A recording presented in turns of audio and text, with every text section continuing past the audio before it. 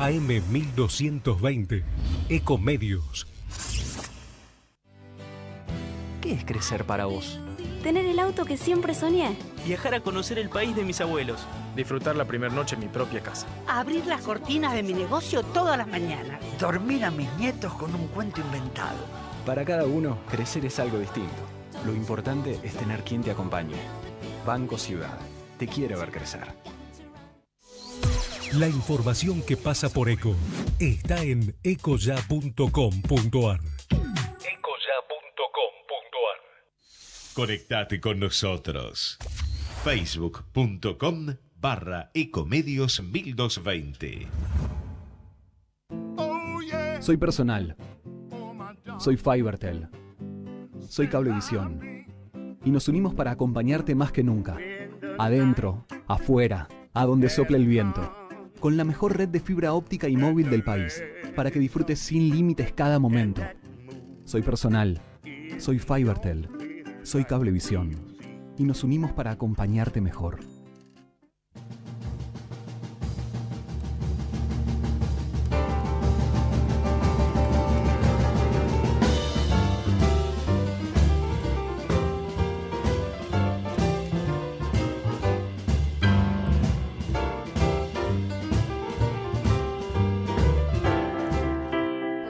No ve la hora de llegar a su casa y sacarse los zapatos. En un tiempo se los va a sacar ahí nomás, para pisar un rato el pasto. Estamos construyendo el Paseo del Bajo. Mejor conexión, más espacios verdes y más seguridad. Juntos, estamos transformando la ciudad. Vamos, Buenos Aires. Alcanza lo que querés con los préstamos personales de Banco Macro, con un monto de hasta 1.500.000 pesos en tasas fijas y en pesos. Cobrando tu sueldo en Banco Macro, accedes a tasas preferenciales. Macro, tu banco cerca, siempre. Cartera de consumo, sujeto a calificación crediticia y aprobación de Banco Macro. Consulte tasas, ejemplo representativo y demás condiciones en macro.com.ar. Un desayuno nutritivo, un almuerzo variado, una merienda con energía, una cena en familia y snacks en porción justa. Eso es lo que te ofrece Arcor con sus más de 1200 productos. Arcor, alimentando momentos mágicos. Redlink, servicios tecnológicos para una vida más fácil. Te vas de viaje a Miami y obviamente siempre te piden algo. Unas zapatillas, una camperita, juguetes para los nenes. Encima te pide que les mandes una foto para chequear que está bien lo que estás comprando. Y obvio, no estás conectado porque te da miedo prender los datos y no hay ni cerca un Wi-Fi. Bueno, ahora con Claro lo podés hacer sin problemas, porque tenés roaming América incluido en todos los planes desde 4 gigas. Así que navegás, hablas y mensajeás en toda América como si estuvieras acá. Ya lo sabés, si vas a viajar, tenés que tener un plan claro con roaming América incluido. Si ya sos cliente, llama al asterisco 611 y cambiate de plan en el acto. Si no, comuníquete al 0800 123 Claro y pedí tu plan con roaming América incluido desde 530 pesos por mes. Claro, es simple. ¿Qué es crecer para vos? Tener el auto que siempre soñé. Viajar a conocer el país de mis abuelos. Disfrutar la primera noche en mi propia casa. Abrir las cortinas de mi negocio todas las mañanas. Dormir a mis nietos con un cuento inventado. Para cada uno, crecer es algo distinto. Lo importante es tener quien te acompañe. Banco Ciudad. Te quiere ver crecer. Cabaña Argentina anuncia el arribo a las góndolas de su mortadela en distintas presentaciones. Familiar, bocha y al vacío. Pueden encontrar a la mortadela Cabaña Argentina en las mejores fiambrerías del país. Más información en www.cabargentina.com y sus redes sociales. Con personal, podés disfrutar de los nuevos packs prepago. Un giga más WhatsApp gratis por 7 días a solo 60 pesos. Está buenísimo para hacer miles de posteos, subir stories, boomerangs y sumar amigos en las redes sociales. Personal, internet para que todo suceda. Más información en personal.com.ar barra Pax Prepago. ¿Querés recuperar tu sonrisa? En Consulmed te ofrecemos atención integral de primera calidad en todas las especialidades odontológicas, las 24 horas, los 365 días del año. Acércate a nuestras clínicas propias en Belgrano y Recoleta. Comunicate con nosotros al 5217 4400. Visita nuestra fanpage o nuestra web www.consulmed.com.ar. Consulmed, más de 30 años generando sonrisas. Tecnoacero, soluciones metálicas para sus techos. Consúltenos en www.tecnoacero.com.ar. Pasión por lo que hacemos. Ese es nuestro mejor ingrediente. Las medialunas del abuelo. 17 años de compromiso. ¿Sabías que el 95% de los alimentos que consumimos vienen de la tierra? Profértil. Vida para nuestra tierra.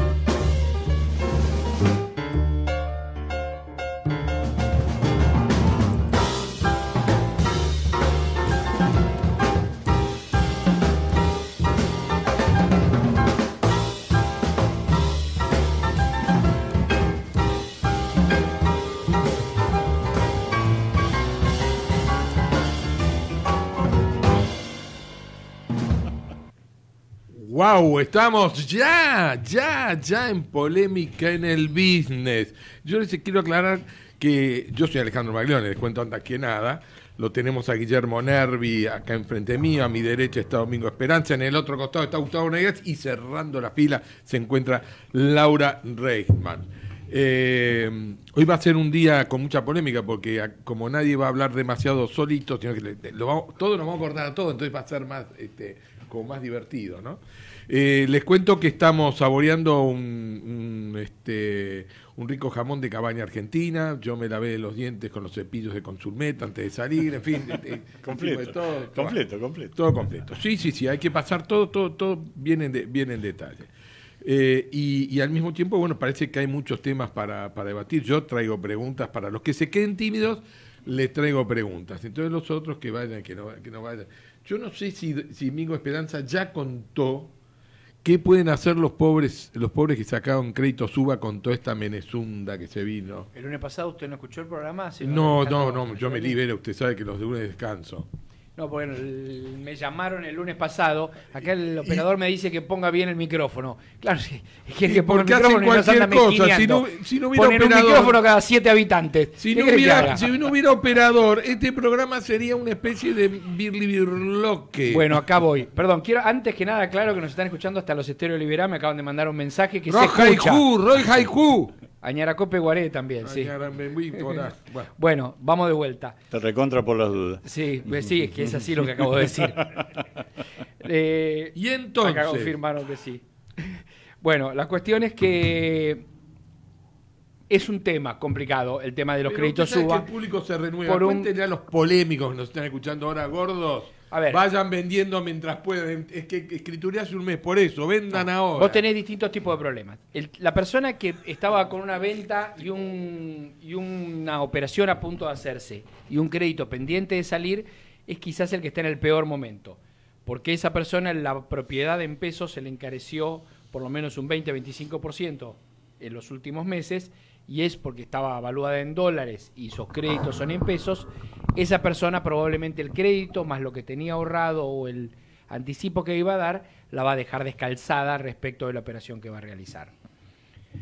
Ahí hay un punto. El segundo punto es que los bancos hoy no están abriendo carpetas, no están receptivos, no están calificando clientes para obtener crédito hipotecario, ni con uvas ni sin uvas, porque básicamente están esperando ver cuál es la tasa de referencia. O sea, está clarísimo que al 40% de una tasa de referencia del central un 17, un 20% arriba de la inflación, no se puede sacar hipotecas. Entonces, Pero- está un poco complicado. Yo, yo soy un Y notario que ya punto- firmé. Háblame yo que y estoy el metido en el tercero, que usted, bueno, usted le- lo más sorprendente es Sí. cómo consiguió usted, con su segmento etario, un crédito hipotecario a 30 años. Porque mentí la edad. ¿Qué le importa a usted? ¿Por qué me Porque ahí es donde viene, ahí es donde viene el punto. Falseé la edad y deseo morirme antes. Ahora hago cosas que no debo hacer para morirme y clavar el banco y irme de la vida viendo Bueno, si usted se va de la vida, fíjese a quién dejó como destinatario de su vivienda, porque es obligatorio en todo crédito hipotecario que haya un seguro de vida.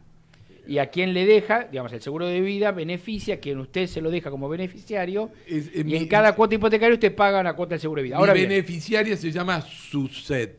bien, su set Ya con doble, claro, y Se va a sorprender mi familia cuando la vean cobrando. claro, y de nombre Crepe. Fue la que le- ¿Usted conoce la historia de la Crep Suset? Le No, pregunto no, en serio. no. Estaba el, el entonces príncipe de Gales a principios del siglo, eh, a principios del siglo XX en Mónaco, con una Maritornes, con una señorita de ligera de cascos.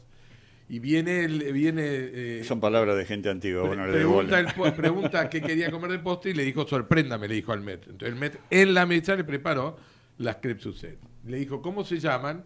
Dijo, no tienen nombre, pero podríamos llamarlas este, crepes Príncipe de Gales. Y agarra y dice, qué aburrido. ¿Cómo se llama, querida? Porque él, la señora que la acompañaba, no sabía ni el nombre. Se imagina la íntima relación. Entonces le dijo, Suzette, Alteza. ¿Por qué no le ponen Suzette? Así nació Crepes Suzette. Dele. Y Pero entonces, ¿cómo bien. hago para agarpar el crédito? Entonces, lo que, lo que está ocurriendo es que las- los créditos en uvas tienen dos cláusulas. Por un lado, no pueden subir a- por arriba de cierto porcentaje de los acuerdos paritarios. Quiere decir que no van a poder subir por arriba. Cuando la inflación supere los acuerdos paritarios van a tener un tope de crecimiento. Y por otro punto, la relación entre la cuota y el ingreso familiar declarado, que es el que paga la cuota, no puede superar un 30% todo aquello que supere el 30% se refinancia en periodo posterior. Quiere decir que si usted Más debe meses o más años. más meses o más años. Ah, bueno. Correcto. Ah, bueno. Ahora, yo te hago una pregunta, amigo. Eh, el- el otro día escuchaba a un, a un economista hablar de esto, uno, uno que estaba vinculado, no, no me pregunte el nombre porque no me acuerdo, y él decía que una de las posibilidades que estaban otorgando los bancos a los créditos ya otorgados y aún no cobrados era de extender el plazo. Ahora, yo te hago la misma pregunta. ¿Cuántos años más se extiende un plazo Bueno, para cubrir esto es un porque no tenemos 20%? cultura hipotecaria. Cuando los países que tienen cultura hipotecaria, no importa cuánto es el plazo, porque 30 años es una vida entera. Si encima nosotros lo mezclamos, el, com- el combo Molotov que tiene la Argentina, con ciclos muy de altibajos violentísimos, no serían altibajos, digamos, sino con ciclos con crisis recurrentes muy violentas, don- y al mismo tiempo periodos prolongados. Lo que hay que hacer siempre que hay una oferta de crédito hipotecario, yo siempre aconsejo lo mismo, sáquenlo. A los bancos no les sirven las viviendas, Sí, les hombre. sirve que le paguen la cuota. Y cuando el mal es de muchos, somos los argentinos los que lo pagamos. Entonces siempre es mejor que si los argentinos lo pagan, por lo menos ser beneficiado con un crédito hipotecario. Pero tus consejos son vendepatria, escucha. No son vendepatria. Los vendepatria son los que implementan las políticas que hacen que después los pobres sigan pagando las hipotecas que aquellos que alguna vez las pudimos sacar, las pudimos cancelar. Yo me acordaba Porque quien también- tenía una hipoteca en el 2001, perdón, Willy, y debía 50 mil dólares, gracias a la especificación asimétrica de 1.40 más ser, terminamos pagando 8 mil dólares, dos años después. ¿Quién lo pagó? El gran pueblo argentino Salud, está claro. Gran pagó esa pueblo argentino Como- salud. como Mirá que me siempre. Como siempre. No, yo, es me, mágico. yo- yo me acuerdo algo que decías la otra vez que me, me- me quedó muy grabado, que lo, lo- lo comento a veces, no sé si es exactamente la cifra, que vos decías que hace 20 años, 25 años, los matrimonios duraban 12 años y los créditos hipotecarios X cantidad de tiempo. Ahora los matrimonios duran promedio 6 años. ¿Cómo juega todo esto también? Bueno, ahí hay varios temas. Lo- son los mismos matrimonios quienes deciden cómo operar con la hipoteca. En algunos casos dicen, bueno, no te preocupes, sigamos pagando la hipoteca porque, digamos, es para nuestros hijos o como fuere. El punto es que lo que se divide, además de la, Cuando se diluye la sociedad conyugal, lo que efectivamente pasa es que ya no es más una sociedad. Entonces no están tirando los dos para el del mismo carro. Se está- están haciendo una distribución del ingreso, están dividiendo patrimonio. Aunque la hipoteca la sigan aportando, los esfuerzos van a dos lugares distintos. Entonces no siempre les alcanza para pagarlo. Ese es básicamente el punto. Pero si no, se pone en venta la casa y una casa con hipoteca no le importa quién la compra, qué hipoteca tenga, porque cuando compra cancela la hipoteca, la levanta o si es sujeto de crédito se le transfiere esa hipoteca a quien compra y continúa el crédito. Lo que pasa es que no tenemos ningún tipo de cultura hipotecaria. Cuando una persona tiene una hipoteca y va a una inmobiliaria y le dice, ah, pero está hipotecada. ¿Cuál es el problema que está hipotecada? Si el que compra va a comprar una propiedad o el que vende dice, no, yo no quiero como hipoteca, yo no te la voy a financiar. No, es un banco el que financia la vivienda.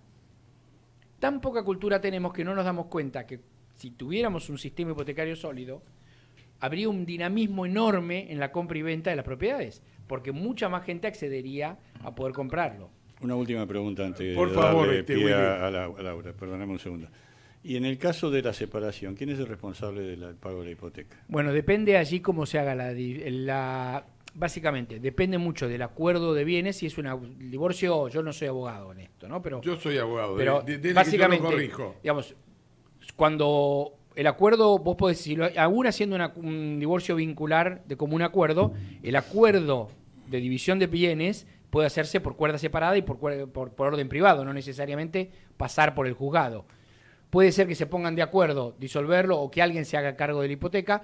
El principal problema es que aún diciendo uno, yo quédate tranquila, mi amor, quédate en la casa, que de los chicos, yo la pago la hipoteca, a los seis meses puede no pagarla nunca más. Hay que ver quiénes son los que figuran como tomadores del crédito, si son los dos o uno, eso es esencialmente el punto, porque a quien le van a ejecutar la hipoteca va a ser contra el bien, es, la casa, pero a quien le van a inhibir los bienes o quien va a tener mayor cantidad de demandas y reclamos es el tomador del préstamo. Si es ganancial, si fue conyugal y si lo hicieron los dos y sumaron aportes los dos, los dos van a estar afectados de igual modo. Bien, gracias. Este, ¿Estás pensando en algo que estás preguntando tanto esto No, de no, la- yo voy voy a aclarar que no tengo hipoteca y no me estoy por separar de Diana. así que esto no, es lo no. interesante, no me Sí, quiero meter Simplemente porque me parece que temas como vos decís bien, que no tenemos cultura hipotecaria. No, sí, pero es, es que es muy común. Pero no hay ningún problema, o sea, de última se vende la propiedad y se acabó el, se acabó el problema. E- Este no es un programa para ventilar la vida privada de nadie, entiéndase, pero ya era tan insistente la cosa, tan insistente. A que- ninguna de las dos cosas, gracias Pero a Dios, me ocurre. tiene algo que decirnos, ¿qué es? Quiero hablarles de una obra, recomendarles que vayan, pues me imagino que todos ustedes son padres, ¿no? ¿O no? Yo no lo sé bien. Me- me- lo han intentado y me negué el ADN. Merlín dice que sí. No, Merlín es, no, Merlín es hijo mío, puro.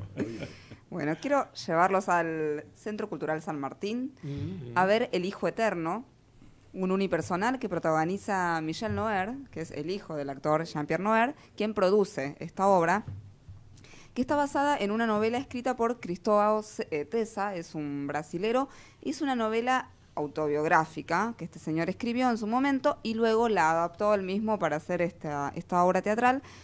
En Brasil tuvo cinco temporadas de mucho éxito, ahora la trae aquí, eh, bueno, Jean-Pierre Noer, que fue a Brasil, él estuvo trabajando mucho tiempo allá como actor, se enamoró de esta pieza, la trae acá como productor, la protagoniza su hijo, que la verdad es hace una, una interpretación para aplaudir, porque bueno, es un unipersonal, dura 60 minutos, es mucho tiempo, y la obra habla acerca de, de la paternidad. Y yo creo que no hay muchas obras que, que apunten, siempre me parece que eh, tal vez toman la maternidad, pero la paternidad nunca está muy, muy tratada. Y son varios años que describe esta obra y él con una escenografía que tiene solo una silla, una iluminación muy, también muy protagonista, eh, va ¿El hace de padre o de hijo? él hace de padre, aunque bueno, también es hijo, ¿no? Pero sí, pero sí hace de, de padre y va mostrando todas las etapas, Cuando el hijo está por nacer, cuando nace, y toda la lucha interna que él va teniendo con sus sentimientos, decepciones, los miedos que a él se le van apareciendo, hasta, bueno, la etapa final que termina la obra, donde él eh, va pasando diferentes estadios y llega, bueno, al, al amor, ¿no? Amar a este hijo, que es eh, diferente a lo que él esperaba. Eh, una obra muy conmovedora, mucha gente llorando, sobre todo hombres, que seguramente se habrán sentido, no sé, representados o Hombres identificados. El señor que tenía atrás Ah, mío... Es una obra gay. Yo Bueno, decía, este, empezáramos por ahí. este señor está muy resfriado, ¿qué pasa? Me di vuelta y no, estaba llorando, tomado de la mano, calculo que de, su mujer. señor, no, no, de, de- su de- mujer, era una mujer. De su hijo, 10 No, años, no. Era una mujer más o menos contemporánea a él en edad, calculo que sería su pareja. ¿Y el actor de qué edad es? 35 años. Que actúa de padre. Sí, eh, como sí, el que actúa de padre tiene 35. Tuve la oportunidad de entrevistarlo. Bueno, él me decía que él lo ayudó mucho a interpretar este papel el hecho de ser padre, porque hace muy poquito fue papá, eh, que si no, no se imagina pudiéndolo interpretar. Yo lo vi en otra obra, pero un- me pareció un actorazo. En la obra era, era completamente distinta. era- Alemania, Samurai. No, no, no, una obra que actuaba este chico que estuvo... Michel- Michel Michel Noer. No, no, no, no, no. Él, act- él actuaba, pero era... Víctor que- esta que Este actor de Hace telenovela que estuvo acusado de, acus- de por... Ah, Juan D'Artés. Con Juan D'Artés. Hace poco en Paseo de la Plaza. En Paseo ¿no? de la Plaza, sí, sí. no me acuerdo el nombre ahora de la obra. Era, no, era algo de un musical, no tenía Era alguna- musical, sí, pero bien. él actuaba como de hijo que...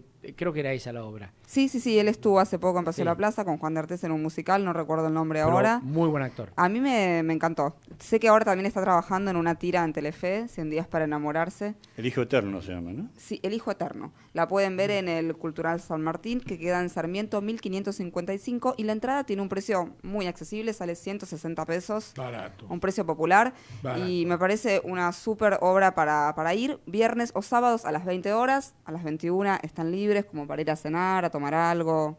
Es un buen horario, así que la súper recomiendo. El eh, viernes voy a ver Nini, después el lunes te cuento qué tal es. Dale.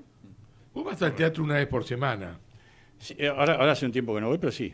Sos de ir al teatro una vez por Sí, semana. sí, sí, a mí es, me un, encanta es, es un, es, un, es un periodista especializado en, en temas de, de- No, no, soy, soy No, un, pero un usuario bien, gustoso. Pero las obras que, que, que, Sí, la que recomendé. La recomendás bien, sí, eso, eso hay que reconocer. Yo por un momento pensé que Mingo iba a hablar del conocido film, porque estaba, viste, como buscando, los meandos ahí, de La mujer de tu padre, de Armando Bo, que fue una cosa tremenda, con Isabel Charlie y Víctor Bo. No, discúlpame. Fue porque tremenda. Víctor es muy amigo mío. Sí. Y estamos, Ah, sí, en, estamos en la etapa de, este, Sí. de la película que acaba de estrenar su hijo.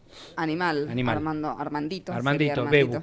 Sí. Tengo las dos versiones, porque la vieron por un lado mi mujer con amigas la quiero ver. y por otro lado la vio Santiago, mi hijo. Hay que ir a verla después de no jueves, viernes, sábado y domingo, por favor, que son los días que cuenta el borderó para que permanezca o no permanezca el cine argentino. Ah, o sea que no se puede ir al cine en el miércoles. Además, sí, se puede días. ir, pero a ver películas gringas. Ah. Las películas argentinas hay que verlas jueves, viernes, Ah, sábado y mira. domingo. No sé si lo sabían, pero hay que No, no avisar lo eso. sabía. No Ahí lo es cuando se cuenta el borderó para Bueno, que acá la- las chicas fueron el 25 de mayo también, entonces tiene doble. Viernes. Qué cosa tremenda. Y, y vos sabés que Gustavo Nogués está siguiendo una línea, hay, hay un rifirrafe en España, porque dicen que están hartos de que ahora todo el mundo llame jamón ibérico a, a cualquier jamoneta que se vende este, por el mundo. Y viste que están haciendo un movimiento, el 31 hay un movimiento en Madrid para defender la denominación De este, origen jamón controlado. ibérico. El 31, mirá, ¿cuándo estamos, que- estamos viendo si Cabaña Argentina Jueves. lleva a los polémicos. Jueves, jueves. Estamos a tiempo. vamos, vamos. Dale. Yo, yo hago mi nota esta semana, esta noche y nos vamos, no hay problema. ¿Qué, qué está pasando con el jamón? Acá, allá, en todos lados. Y es una gran movida de ganar mercados a como se pueda. Este, Europa es tradicionalmente una gran defensora de las denominaciones de origen, eh, está viendo con mucha amenaza los avances en América. Eh, bueno, a- recientemente eh, ciertos productores que vos lo comentabas otro día están produciendo en Estados Unidos bajo licencia de España jamón ibérico en Estados Unidos, productores de, eran de Texas. De ¿no? Texas, de Texas. Sí. Este, y bueno, se les está haciendo mundial, digamos, la, la producción de jamón. Aquellos que pueden hacerlo y aquel mercado que lo puede pagar. Acá siempre se dice, bueno, ¿y por qué no hacemos acá jamón de bellota? Porque financieramente en Argentina es imposible. O sea, no hay quien te lo compre. Porque no tenemos bellotas. No hay quien te lo compre y no hay quien te banque la producción. Este, como pasa, por ejemplo, no sé vos eh, si conocés el tema del whisky, ¿por qué acá en Argentina no se consigue el Macalán? No lo sé. Bueno, precios Hay exorbitantes. algo que no sabe Maglione. Eh, No, porque, porque- Anótenlo, por favor. No, no, porque el Macallan acaba de financiarle a whiskeros argentinos una gira por no sé dónde. Y ahora Acaban me entero de que no se puede vender, lo cual me, me- me deja- Acaban de, de hacer un brindis compartido con cinco países latinoamericanos y este y todos muy exaltados de que están degustando whisky Macallan en Argentina, pero en Argentina no se compra, no lo venden todavía. Como que aparentemente estarían promocionando el lanzamiento comercial ¿Pero por del qué? whisky. ¿Por el precio? ¿Cuál es el...? Sí, el- precio. el- principalmente igual, precio. Eso, ta, ¿qué le va a hacer? Este, pero como que lo quieren lanzar a un nicho muy exclusivo. Mira, no hay caso, es, es una cosa que, que es para todos los órdenes de la vida y para todos los productos y todos los servicios. Pero el argentino tiene una confusión, eh, quizás nos introdujo Lita de Lázari, ¿no? Cuando a vos te machacan en la cabeza de que nacés, busque precio señora, busque precio señora, eh, tenés que buscar precio y calidad. Porque si no, no tiene sentido. Es decir, a mí, a mí eh, eh, eh, este, do- este domingo estábamos discutiendo que en, en el pueblo, en mi pueblo, en Moreno, en tal panadería salía la, docena de facturas 50 pesos. Y en tal otra panadería salía 120, 10 mangos cada media luna. Ahora, yo que conozco las dos, panaderías y he sido cliente de las dos en el- al, ca- al caminar de mi vida, no tienen ni comparación la calidad de la de 120, es tanto mejor que si costara 130 la pagaría 130, porque una medialuna vale por 20 de las otras. eh, es una cosa, no entendemos eso. Si en vez de, eh, si a vos te hacen la medialuna de manteca en lugar de con manteca con margarina, y sale más barato. Incluso también la inteligencia de la adecuación de la oferta a la posibilidad de la demanda. Como hizo También, España, también. de que el poder adquisitivo de la clase media española bajó y ya no podían comprar la pata del jamón ibérico entera. Desde ahí surgieron un montón de cadenas con franquicias de comercios en donde te venden el feteado al, al eh, el feteado a, A mano. a mano en conitos. Así como hoy compras conitos de rabas o conitos de papas Sí. fritas, ahí te ves el Y te conito. dabas el gusto de comerte el Hasta jamón. incluso te venden el envasado vacío de lo que vos viste cómo lo veteaban a la vista. Y te lo llevas a tu Claro. casa.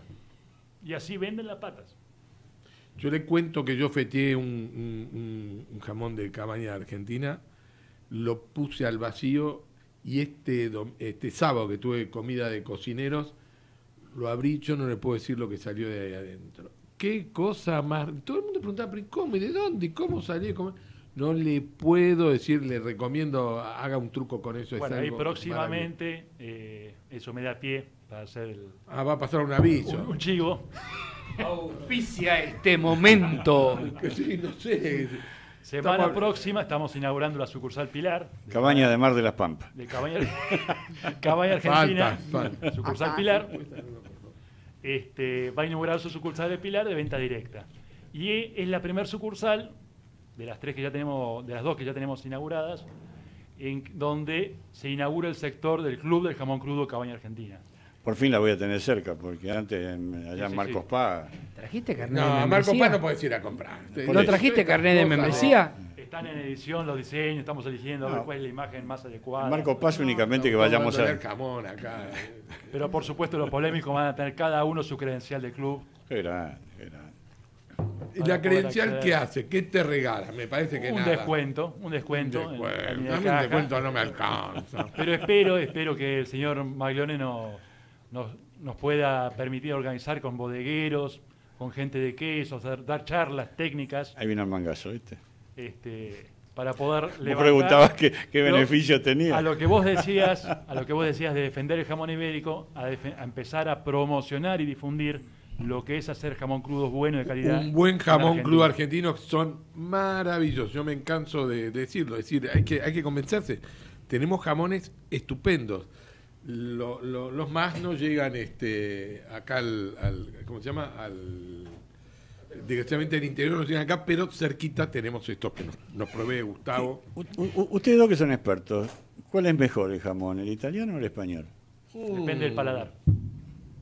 El argentino. No, no, no estoy, estoy hablando de los que, europeos. que están haciendo un jamón con color y textura español y con sabor parma. O sea que tenemos los dos, Bien. cosa que ellos pobrecitos no tienen. Sí, para ir a un intermedio tenés también el jamón crudo francés, que es un- justamente un intermedio entre el, fran- entre el español y el italiano. Porque nos imitan. Los franceses están mirando, cada cosa que hacemos nos imitan. Es así. Y siempre pasó lo mismo. Siempre pasó lo Por mismo. eso están tan bien ellos. Este, yo lo, lo- lo que no sé, ¿querrá pasar a- alguna cosita ahí nuestro operador? Que, que nos Mira, ahí están los metros delegados peleándose. mira. ¿Usted quiere pasar alguna tandita, alguna cosita? Vamos a un corte entonces. Ecomedios.com AM1220. Estamos con vos. Estamos en vos. Descarga gratis de tu celular la aplicación Ecomedios. Podés escucharnos en vivo, informarte con las últimas noticias y entrevistas en audio y video. Búscala y bajate la aplicación Ecomedios. Podés vernos en vivo en ecohd.com.ar. Conectate con nosotros. Contestador 5 254 2353. Soy personal. Soy Fivertel. Soy Cablevisión. Y nos unimos para acompañarte más que nunca. Adentro, afuera, a donde sopla el viento. Con la mejor red de fibra óptica y móvil del país. Para que disfrutes sin límites cada momento. Soy personal. Soy Fivertel. Soy Cablevisión. Y nos unimos para acompañarte mejor.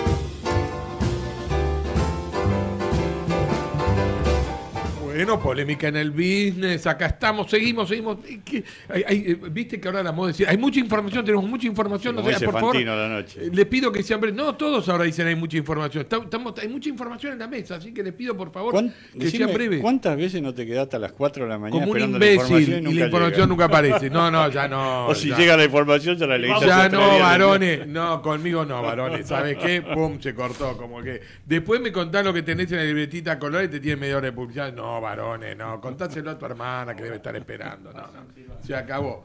Pero. El caso es, ¿vos, vos querías contar alguna novedad en el mundo? Yo es para que no te vayas a comer el, el jamón que te... Nervi, eh, Gui- Guillermo Nervi está... por favor, este, cuéntenos qué es lo que nos iba a contar de eso de que ahora se toma una sé qué cosa y se sabe no sé qué cosa. Antes de empezar la parte médica, quiero ir a la parte deportiva. ¿Puede No, ser? insoportable. ¿Cómo por insoportable? favor. Los jaguares hace un mes. acá enfrente hay un local de los trolos. jaguares. No, Tenemos dos de seis al hilo. no, no, pero además. No interesante. Antes eran todos trolos, te fijaste, quiebran la muñeca, se perfuma, que ahora que ganan son unos toros, son unos paisanos, son unos gauchos bravos. Vamos a empezar por- piña al que le hace el jueguito con el jamón, ¿no? Vamos a empezar por el más importante. Bueno, a ver. Eh, Jaguares ganó su sexto partido consecutivo, los cuatro que jugó en Oceanía, en Australia y Nueva Zelanda, que era la primera vez que ganaba equipos de la franquicia neozelandesa. Hace dos semanas le ganó a Bulls, un partidazo, 30 puntos de diferencia en Vélez. Y este, fin de- este viernes, 25 de mayo, le ganó un partido muy complicado, muy difícil a los Sharks. Sharks es una franquicia eh, este, sudafricana, la cual nunca se le había podido ganar. Llevaba cuatro partidos, cuatro perdidos. ¿Qué es una franquicia en el deporte? Cada equipo que juega el Super Rugby se lo, se lo considera una franquicia en vez de un equipo. Es como en el- la NBA. Como la NBA, porque van rotando, van cambiando de jugadores, son jugadores que tienen determinadas particularidades. En el caso de Argentina tiene... Es como si tuvieran una licencia para poder tener ese equipo, para poder armarlo y jugar dentro de ese torneo. Exactamente. Eh, nuestro equipo argentino tiene dos raras particularidades, dos eh, fuera de serie particularidades. Primero que no hay ningún extranjero en el equipo. Eh, lo mismo pasa en los Pumas, no tenemos nacionalizado ningún jugador extranjero, cosa que sí pasa con la franquicia, donde los neozelandeses juegan en equipo sudafricano, en equipo japonés, etcétera. Y a su vez que este equipo es la base, prácticamente la base, de los Pumas que debutan el 9 de junio. Ahora llega la... En donde vamos a ir juntos a vernos. Vamos a ver cómo viene a mano. Vamos a ver cómo viene a mano. Vamos a ver cómo nos mantienen el billete, ¿no? Sí. No, no, no. No, no, estamos hablando, vos estás hablando, de, Estoy hablando el, de el año que viene, Japón, el mundial, que se, esté como esté el billete, iremos si Dios quiere, si Dios nos da salud.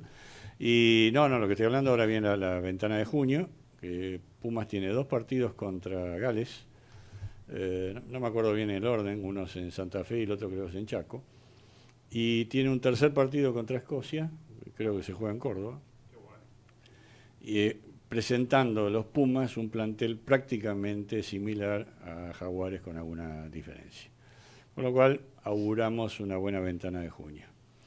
Eh, queda ahora, al, venir la ventana de junio de, las- los seleccionados de rugby, el, el próximo partido de Jaguares se va a jugar el viernes o el sábado 30 de junio contra Stormers, que es el último de la zona, y le quedan dos partidos más, nuevamente con los que jugó acá, Bulls y Sharks, a los cuales si tenemos la posibilidad de ganar por lo menos dos de los tres partidos, estaríamos jugando por primera vez desde que participamos y en la historia en los cuartos de final, que ya sería de lo que terminó el año pasado la franquicia Jaguares, como dice Alejandro, que todos eran etcétera, etcétera. Eran medio mariquetas, según ustedes. No, acá, acá hay un problema, lo, lo- lo que ha cambiado mucho es la mentalidad de los jugadores y el entrenador, básicamente. Ah, Desde que Mario Ledesma se hizo cargo del equipo, junto con Nico Fernández Miranda, el equipo, los dos primeros partidos no anduvo y después anduvo una maravilla. Vamos a ver qué pasa con los Pumas ahora, cuyo entrenador es Los Urcade. estilos de juego entre los equipos nacionales y los franquicias son distintos. ¿Los equipos nuestros nacionales? No, lo- lo- los campeonatos de las franquicias versus No, no. de los- Super Rugby es un torneo que se juega de febrero a mm, julio, ju- agosto. Creo que los, los octavos van a ser en agosto. Eh, es un torneo absolutamente económico, donde tienen todos una... Digamos, hay, hay, hay, hay, hay montado un show business alrededor de todo esto. Si vos ves los partidos, algunos de los partidos a veces se juegan en estadios totalmente vacíos, así como se mantienen. Y estas franquicias son eh, bancadas básicamente por la publicidad. Y en el caso de Jaguares, eh, están reclamando ahora la SANSAR, que es la, la Unión Sudafricana de Rugby, que es un poco la, la que ha metido a una franquicia argentina en este torneo y fue la que siempre abogó en favor nuestro, está pidiendo que Argentina ponga una segunda franquicia, que hoy no tenemos su- suficientes jugadores. Ah. ¿no? Pero y respecto al torneo local no, no- no tiene nada que ver. Argentina tiene tres equipos, tres niveles de equipos. Tiene Argentina 15, que por primera vez en la historia perdió un partido con Brasil, en el Campeonato Sudamericano, en el Seis Naciones América. Eh, Ganaban 33 a 3, se durmieron y perdieron 36 a 3, a 33. Y este, tiene después los Jaguares, una especie de segundo equipo que hoy en la realidad está jugando mejor que los Pumas, y los Pumas que es el, y aparte hay un- una especie de cuarto equipo que son los juveniles, que son los Pumitas. Pero eh, hay otro problema que es que Argentina, la Unión Argentina de Rugby no permite que jueguen ni en los Pumas ni en Jaguares jugadores que se han ido a jugar a Europa. por política. Eh, mm, para que no se les demande el equipo. Pero básicamente ahora se produce un conflicto, dado que hace dos semanas Nicolás Sánchez, el medio de apertura argentino, que es un crack, anunció que a fin de año se va al Estado francés a ganar mucha más plata de la que está ganando acá. Y acá están ganando muy buena plata, porque los jaguares están... ¿Están facturando bien? Los buenos están en un promedio de 20 mil dólares por mes, más o menos. Epa. Más o menos. Y se iba a abrir la solicitud para que vengan jugadores de Europa para jugar esta ventana de junio y la cerraron rápidamente cuando vieron que se iba Nico Sánchez y esto podía generar una, un éxodo de jugadores, que seguramente va a pasar. Va a pasar porque los jugadores de buena calidad... eh, Ahora, en los Pumas históricos, de los cuartos en el Mundial de Francia, había, había muchos profesionales jugando en el exterior. Sí, pero en esa época no existían los jaguares, no había la no, pero me prohibición. refiero, no estaba la, no- la guarda ahí no tenía esa restricción. No, no, no. no. No, la En restricción... realidad, Pisotti y toda esa generación son también las que nos metieron a los jaguares. Y Por supuesto. Lograron que entráramos en el circuito. Pichot es el vicepresidente de la World Rugby, que es la FIFA del rugby. Seguramente va a ser presidente en algún momento, un tipo brillante. Brillante, decididamente brillante. Y estos, est- esta limitación de jugadores de Europa se puso a partir de que nacen los jaguares. Pero en algún momento va a tener, tenemos muy buenos jugadores en Europa que podrían ser de Jaguares, Jaguares no, perdón, de Pumas, porque Jaguares, un- nadie va a venir a jugar a Jaguares porque bajar un escalón, este, pero Pumas podría ser un equipo no te digo imbatible, pero con, con el mandato de Ledesma, mamma mía. Y por otro lado, el sexto al hilo es Atlas. Ganó su semifinal con Argentino de Merlo 2 a 0. Cuéntele bien a los. Usted parte de la base que los polémicos no se escuchan, sabe que es Atlas. Bueno, Atlas es el equipo que- de la primera D que Eso. tuvo 11 años un programa en Fox Sport, eh, donde se hizo en realidad un, un reality de un equipo del- el- que era el último de la D. Y Atlas estuvo en el año. ¿Cuándo fue Mingo que vimos a final que nos robó el referee? ¿2016? ¿2015? 2016. 2016, nos robaron el ascenso. No sabemos si el señor Morcilla o el señor Chorizo eran en realidad el árbitro haciendo un bolo y después nos chorearon con ese fue penal. ¿Te acuerdas? Porque, ojo, ahora debemos decir que sufrimos por el partido, pero fue excelente. Ah, la comida fue La la comida primera, fue increíble. Los bondiolitas ahí en el Y ese entretiempo. día hubo, hubo más de 3.000 personas en la cancha de Atlas. Bueno, Atlas ahora llegó eh, quinto en la zona, el primero asciende. Es de. General Rodríguez. No hábleme del oeste, pues me Es de interesa. General. Rodríguez. Ah. Y jugó, se jugaron dos semifinales. Atlas el único que ganó, el otro partido Liniers y no sé cuál otro empataron. Y ahora viene la revancha el sábado que viene, que con empatar este, jugaríamos la final nuevamente. Sexto partido al hilo con la camiseta de Consulmed. Que, eh, ca- camiseta que gana no se toca. Usted sabe que este, eso me pasó cuando yo era sponsor de River, un día se terminó el contrato, después de siete años. Y me vinieron a ver que, en fin, que, que no, que River había ganado todo cuando había tenido la camiseta de, de credencial y que no querían dejar la camiseta de credencial. Sí, pero yo tengo maguita para bancar todo este birloque, muchachos. Pónganla gratis. Pónganla gratis, que pónganla gratis, ¿sabes cómo? En fin, perdón. Este, Ahí vino el acabose del club.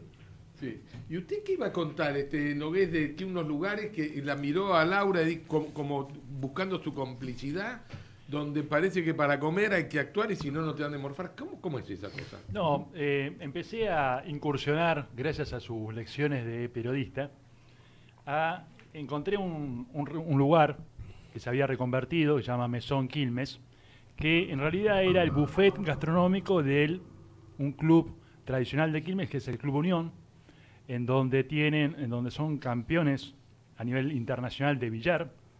¿Qué? Bueno. Este, y tenían como relegado el buffet que da a la calle y se lo dieron en concesión a unos emprendedores que tenían algo de trayectoria en gastronomía. El socio viene de la gastronomía y ella, eh, Paola Olivera, a, la que entrevisté, es productora de televisión en Florencio Varela. Y eran amigos, son amigos, y se hicieron socios en, una, en un emprendimiento gastronómico. Reconvirtieron todo el- el- lo que es el, el- El mesón. Claro, el mesón lo sacaron de lo que era eh, la fisonomía de un club típico de barrio de, de Gran Buenos Aires, un club social, a un restaurante gourmet que además le anexan la parte artística. Ya están tramitando justamente poder tener shows eh, de acceso público, en donde están ya contactando a artistas de, eh, distintas áreas del, conurbano, en La Plata, en Florencio Varela, Quilmes, del arte de- teatral, de la música, de la poesía, eh, pintores, para que vengan a dar charlas luego de que termina el horario de cena, tipo a partir de las 12 de la noche, poder hacer shows o eh, charlas sobre arte nacional. Así que me pareció muy linda la propuesta y lo que les hice fue una nota para de alguna manera diagnosticar cómo ellos, ellos se inauguraron hace tres meses, y lo que noté es que tenían un- una tormenta de ideas, de expectativas de cómo iba a ser el, negocio gastronómico, y les empecé a tirar tips de lo que yo he aprendido en la escuela de marketing. A ver, pues, a ver, ¿ustedes hicieron una investigación de mercado previo a colocar el negocio gastronómico? Sí, bueno, nosotros pensamos que esto va a ser así, así, allá. Entonces ahí me di cuenta que no habían hecho mucho estudio de mercado, eh, no, no tenían conocimiento todavía profundo de qué está ofreciendo su vecino que está a media cuadra, que tiene también un gastronómico. Eh, te- me déjame meter un bocadillo. Un estudio de mercado para una pyme es lo que vos acabas de decir. Sí. ¿Qué hace el Yo tengo vecino? que caminar A la- sí, 10 te- manzanas y enterarme dónde me voy a instalar, qué es lo que va, qué es lo que puede haber como ¿Qué oferta hay? ¿Cómo lo hacen? Además, tiene que ver con tiene que ver con mi oferta, es decir, yo voy a hacer este yo voy a vender choripanes, allá venden pastas, listo. Le deseo mucha suerte al vendedor de pastas y que él me desee suerte a mí con los choripanes. Exacto. Pero porque cuando decimos estudio de mercado de un pyme, imagina una, una empresa que hay que contratar, Un focus imagina esto, el focus group, imagina siempre sumas que pasan los cinco ceros que tiene que pagar para que le haga un estudio. No, no, don este eh, eh, polémico que está escuchando, el estudio de mercado para este tipo de comercios lo hace usted caminando por la calle con su señora, sale a pasear del brazo, Hacer el famoso. Mystery Shopper, que es simplemente También. ir, sentar como cliente y, y- y vivir la experiencia de lo que está haciendo la A competencia. ver el polémico, el polémico Esperanza. A ver, no, pero un tema que siempre veo yo que me pasa con en mi rubro, pero bastante parecido con la parteria de vivienda, cuando es más de grupo de gente que se lanza a hacer un emprendimiento, que se enamoran tanto de su propio proyecto que cuando salen a hacer el estudio de mercado dicen, ¿ves? ¿Te das cuenta? Nadie, por ejemplo, nadie hace departamentos de cinco dormitorios. Es un golazo. Hay que hacer departamentos de cinco dormitorios. Porque no hay nadie en Mataderos que haga departamento de cinco dormitorios. Bien. ¿Cuánta gente de Mataderos tiene un millón doscientos mil dólares para comprar los departamentos de cinco dormitorios? Que lo que te sale Yo conozco hacer un par. Yo ese- conozco un par. Un par, dos. Pero Por hicieron, eso, hicieron cuatro. 130. Si es un par son cuatro, escúcheme. Si es un par son cuatro. Está bien, pero son cien- hicieron 130. Y además ese par quiere vivir todo junto en el mismo edificio, en el mismo consorcio. No. Quiere compartir, entonces, No. volvemos. No, no. Y ese, ese es otro problema que tenés, no solamente hacerlo al estudio de mercado, sino ser absolutamente autocrítico de lo que vos estás haciendo. Claro. No, porque acá en este barrio no hay nadie que No, haga no. comida Nikkei. Ajá. ¿Quién ¿Y morfa comida ¿quién- Nikkei? ¿Cuánto comen Nikkei? ¿Cuánto están dispuestos a El, pagar? el matadero quieren los muchachos que arrían las vacas, por ahora, pues te los van a sacar de ahí. Más allá de estas Entonces, preguntas, más allá de estas preguntas que Haga un hice- estudio de mercado. hice prender un poquito lamparitas, eh, justo en ese momento estaba el recién contratado Community Manager ¡Apa! y que también iba a ser RRPP. Y eso me sorprendió. Epa, ¿Cuántos cubiertos? ¿Cómo sería la cosa? Bueno, tiene una cantidad de cubiertos limitada porque la cocina que disponen actualmente tiene una capacidad también limitada. Pero el limitado, ¿qué quiere decir? No, 50 tienen- cubiertos, 100 cubiertos. No, tienen 50 cubiertos. Este, el club de la milanesa de Torres de, de- de Pilar, eh, ¿cuánto? Torres Pilar, usted ve que el club de la milanesa de Torres Pilar es como una ciudadela. Usted entra y va subiendo y bajando piso y ve pasar milanesa, milanesa, milanesa. Ese es otro tema. Tienen 50 cubiertos y además tienen muy bien hecho la comunicación de cuál es la propuesta gastronómica para cada etapa del día desde que abren hasta que cierren. Que eso también me pareció muy cómodo. Muy bien. Con una propuesta gráfica, ambientada, como para que vayan este, una familia a, pasar un buen almuerzo o una buena cena y después quedarse después de la cena al show artístico que proyectan hacer, o eh, una reunión de barrio, de amigos, un after office, este, o sea, lo tienen bien calibrado. Simplemente estos pequeños tips de que esas expectativas enormes que tienen, saber que hay que adecuarse a la demanda. Claro. El precio es lo que la gente paga, no lo que las cosas valen. Lo bueno si es yo no lo entiendo, me quedo clavado de 10 años con un departamento que no consigo vender, con un auto que nadie viene a ver para ver.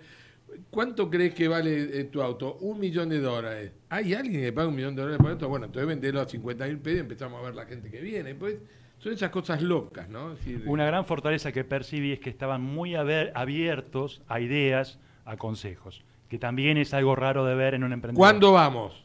Cuando y porque esto hay que hacerlo así, Cuando vamos, muchachos. Cuando hay que ir, hay que ir a- para decirle. Hay que catarlo. Hay que ¿Vos, sab- vos sabés Hay que orientarlos. Te, te hago un aporte. Eh, yo no lo conocía, después me enteré que menos yo lo conocían todos.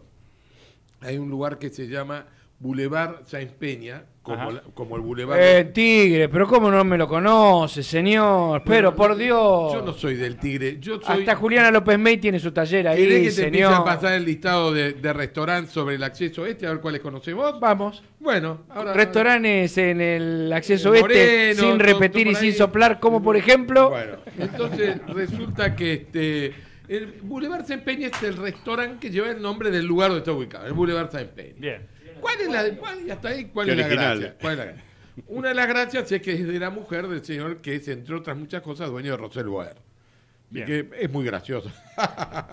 Y tiene, y tiene la y tiene la concesión de Cerro Bayo. De, de Cerro Bayo. Entre otras cosas. Sí, pero eso es, es lo menor y el Locho, Rosel Boer Y de que es un Mendoza, coleccionista que de cachivaches de un montón de ¿Conseguís cosas. descuento que tengo que pagar a mis nietos? Ahora después hablamos. Bueno, Yo también. Entonces- Creo que sigo pagando aquellas Bueno, vacaciones. bueno, entonces resulta que la señora este, era una coleccionista, pero no de cosas costosas, sino de cosas que a ella le daban la gana, que le gustaban, Mundanas. que esto. Le- ella, ella, ella, ella, este, este, ella coleccionaba cosas. Entonces, en este lugar, ¿cuál es el sistema? El sistema vos te sentás, comes una comida que tengo que ir a evaluar porque me ha pedido su marido que vaya, que es una comida sencilla, pero bla, bla, bla. Pero la gracia está en que vos decís, che, la verdad que las copas de, de este lugar me, me gustan. Ah, Me voy a llevar media docena de estas copas.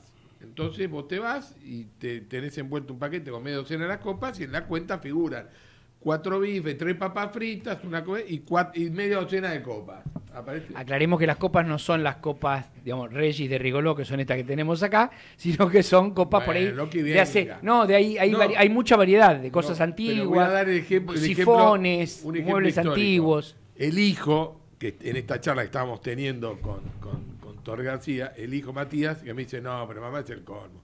Porque, oíme, yo estaba el otro día, me cuenta él a mí delante del padre, estaba el otro día y, este, y había un matrimonio de ingleses almorzando, de jóvenes, de turistas ingleses. Este, y había un matrimonio de la misma edad de ellos sentado en, la- barra del bar tomando una cerveza y mirando insistentemente a los ingleses. Yo le digo, ¿y qué tiene? No sé, ¿qué pa- ¿dónde está la, la? La vuelta está en que mamá había vendido la mesa. Tenía que terminar de comer los ingleses. Los tipos habían mirado lejos y dijo, esa mesa está muy linda. Bueno, cuando terminan de comer los señores, se llevan la mesa. Había vendido la mesa la que comía. Entonces me pareció como concepto, agregado a lo que vos acabas de contar, que es originalísimo y me parece, ojalá que tengan Bueno, suerte. y después como corolario, la inversa.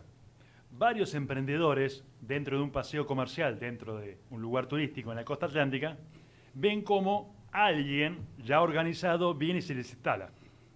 Como una, una segunda sucursal de algo que ya es- de una oferta que ya se ofrece en el mercado. Una regalería. Una regalería. Mira, porque esos son negocios donde a veces hay duplicación. Casi un diamante, digamos. Vos dirías, pero, pero ¿de, de dónde están hablando? ¿De qué, de qué, ¿Dónde está? Diamond ¿Qué es la- Gift. ¿Cómo?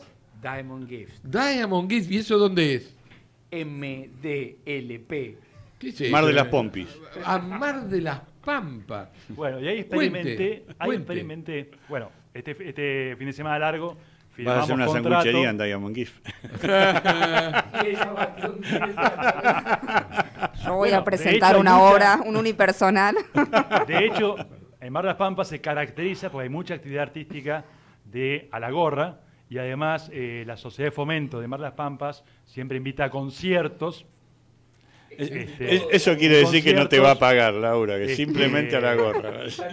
A la gorra. Conciertos, bueno, con distintas este, orquestas que van y tocan en la iglesia, en la parroquia de Mar de las Pampas. Bueno, ¿y qué, ¿y qué nos tiene que decir Laura? Pues todo, Laura dijo esto, Laura hizo aquello, y el pobre Laura se quedó ahí. Fui a ver otra obra también. Estuve- Ah, fue a ver otra pero obra. esta es una obra o teatro danza. Marcela Estiletana. Es, tremendo. Pero a mí me gusta. Además fui porque, bueno, también eh, un amigo mío es músico y hace, compone la música de esta obra. Ese era el atractivo que yo tenía, pero la verdad que me gustó todo. Las bailarinas no hablan. Es en el Centro de Experimentación del Teatro Colón. Es una sala más pequeña que tiene el Teatro Colón que le permite a proyectos de repente más chicos, le da el lugar para, para presentar, para mostrarlos. Quedan solo dos funciones, en junio, el viernes 1 y el miércoles 6. Ya son las dos últimas. Es una obra coreográfica que está basada en una novela con el mismo nombre, Las bailarinas no hablan, y la que escribió esta novela y dirige esta obra es Florencia Berchowski. Tuvo mucho éxito esta novela. Ella anteriormente había presentado otra novela, El telo de papá, que también fue bastante conocida, fue muy recomendada por diferentes blogs o la parte cultural de las Y revistas. dicen que los hoteles alojamientos son de los gallegos. Hay un ruso que también tiene telo, fíjate. No, no es serio esto. El pelo, no el pelo. interrumpir. No, no. Siga, Laura, no Bueno, tenés que interrumpir. además sabes que esta chica Florencia, eh, las novelas son bastante referenciales porque ella es, eh, bueno, es una ex bailarina, estuvo en el Teatro Colón, también en otra, en otro insti- instituto de danza y lo que cuenta la obra en 60 minutos que dura es un poco eh, la relación entre el maestro y los bailarines de ballet. Y todo el hastío, la rutina, las prohibiciones que tienen, el sacrificio. Mucho la, la- la protagonista de esta obra es una, es una chiquita de 11 años que viene desde el interior y se instala en Buenos Aires para poder ser bailarina del Colón. Entonces todos los, todo lo que es el cambio de vida, el cómo extrañan su vida en el lugar de donde vienen, la familia un poco se divide, porque en general a veces estas chicas vienen con la mamá, pero el papá queda en, en el lugar natal, es, bueno, produciendo dinero para, para un poco bancar la historia. Eh, pero es divertida. Lo que tiene es que se les da la posibilidad de la voz a estas bailarinas, porque no son actrices, son bailarinas que también interpretan texto, entonces también se les da la voz, que la tienen tan, tan prohibida en el ballet. Eh, es divertida y destaco la composición musical, no solo porque es un amigo mío que la hizo, sino porque la música está hecha en vivo y es muy, muy interesante. Es Diego Bologín el que hace la música. ¿Dónde es? En el Centro Experi- de, de Experimentación del Teatro Colón. El Teatro ¿Es- Colón. es el que está abajo? Sí. Ah, ya. Esa sala más chiquita, sí. Y Viernes, quedan viernes 1 y jueves 6. viernes 1 y miércoles 6 a las Miércoles 20 seis. horas. En la entrada está 220, 250 pesos, no me acuerdo bien, la sacan. El lugar es lindísimo, además. El lugar es muy lindo. Muy lindo. Y realmente eh, es linda la, la experiencia. Porque además hay bailarines, el elenco son bailarines del elenco estable del Teatro Colón. Hay chicas jovencitas, hay una nena de 11 años, chicas de unos más 20 y pico de años, y hay bailarinas más grandes, retiradas o que están como en el ocaso de su carrera. Entonces hay diferentes etapas de los bailarines. Y bueno, también está la coreógrafa con toda su, su disciplina y su rigidez. Eh, hay algo de francés. Es, es divertida, es linda. ¿Cómo se llama la obra? Las bailarinas no hablan en el Centro de Experimentación del Teatro Colón, eh, junio, viernes 1 y miércoles 6 a las 20 horas. Entradas online o también en la boletería del, ¿Por alternativa se pueden sacar? No, eh, No, el Colón se el puede Colón, comprar sí. online. Lo que pasa es que es bastante pesado el sitio Sí. de compra de entradas del Teatro Colón. Yo la saqué Muy online y complicado. primero te hace registrarte. Yo estoy y registrado se y traba un compro, pero se poquito, traba. Y Yo luego también estoy registrado después para Y tenés que ir a buscarlas ahí Eh, después, es complicado. Yo fui un no ratito podés antes. imprimirlas. No, yo podés. fui un ratito antes. igual. para venderles un poco de marketing a estos muchachos de Colón. Sí, ¿no? Tendrías que hablar con alguien de- del PRO. de. Cambiemos. Agilizar Estamos, el trámite. eh, eh, eh, Este es un programa, que, que- no es un programa político, es un programa de, de- de actualidad. No estamos para eso, dijimos que hablen los otros, estas cosas. Bueno, la cuestión, Laura, que todos para allí vamos. Vayan, no va a gustar. nos vamos a equivocar. No se van a arrepentir. No, no, yo te lo digo porque veo que hay mucha... Pod- Podemos hacerlo completo. Laura nos da la obra para ver. Mingo nos dice dónde ir a cenar. Acá Gustavo nos da. Donde comprar un regalito, una chuchería. Claro. para- y para limpiarse los dientes hay que ir a Consulmet para que te hagan una pasada. Para hacerse un blanqueamiento. Un ¿no? blanqueamiento Si general. la comida no es muy buena, la de guardia la funciona a las crítica- 24 horas. La crítica gastronómica del señor Benemérito Maglione. Sí, sí, Maglione critica, tiene cada milonga, cada tonga, milonga. Es encantador. Resulta que hay una pelea muy grande hoy en, en- en los medios, les contaba, este, porque cerró un restaurante temático con orientación peronista. Se pelearon ahí y, este, y salió un tipo a pegarle al tipo y no se lo ocurrió. Y de paso dijo, y además es el lugar donde Alejandro Maglione hace catas de vinos de Entre Ríos que son una lástima. No hago catas, no conozco vinos de Entre Ríos y nunca hice nada en ese lugar. Con lo cual digo, ¿para qué? Si le están pegando a otro tipo, péguenle al otro tipo, no me vengan a mí. ¿Y todo eso en YouTube ya disponible? ¿Eh? Todo eso en YouTube ya disponible, me imagino. Sí, no, aparece todo. ¿no? Hay toda una película de la cata que hizo Maglione con los vinos entrerrianos. Con los vinos entrerrianos para venderme. Sí, Alejandro, decime una cosa antes de ir a la, pau- a la pausa. Sí. Este, ¿Qué pasó con la Burgoña? No, con la Bourgogne pasó algo simple. Primero que... ¿Sigue viva o cerraron? No, no, cerró, cerró. Eh, mejor, no, mal dicho. Cierra el 14 de julio. El 14 de julio es la última comida. Jean Paul hacía ocho años que no estaba en la Bourgogne, prestaba el nombre, aparecía para criticar los impuestos que se cobran en Argentina. Claro, no debe ser tan fácil de evadir que en Uruguay, porque se cobran lo mismo de un lado y del otro y allá le va muy bien también. Hace ocho años que no estaba. Y después viene este, que al parecer, entonces, bueno, quieren pasar a la parrilla, porque realmente es verdad, la gente va para comer comida francesa, rouleté de Saint-Falier, me la como en París y no me la vengo a comer a Buenos Aires, tiene algún sentido.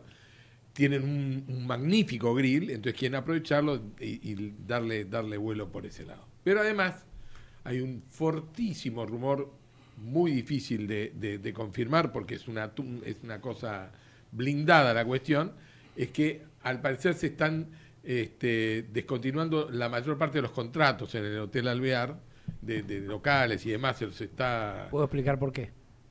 Y, y- y ahora nos va a decir lo que yo no quería decir, lo va a contar rápidamente. Mingo lo decimos después de la, después de la Después, pausa. después de después de la pausa no, se van a enterar por qué se va todo al BNPT. Como diría Fantino, vos me estás diciendo Vos que. me decís que hay un motivo. Para, para, ¿qué titular tengo para mañana? Vamos a un corte, dale.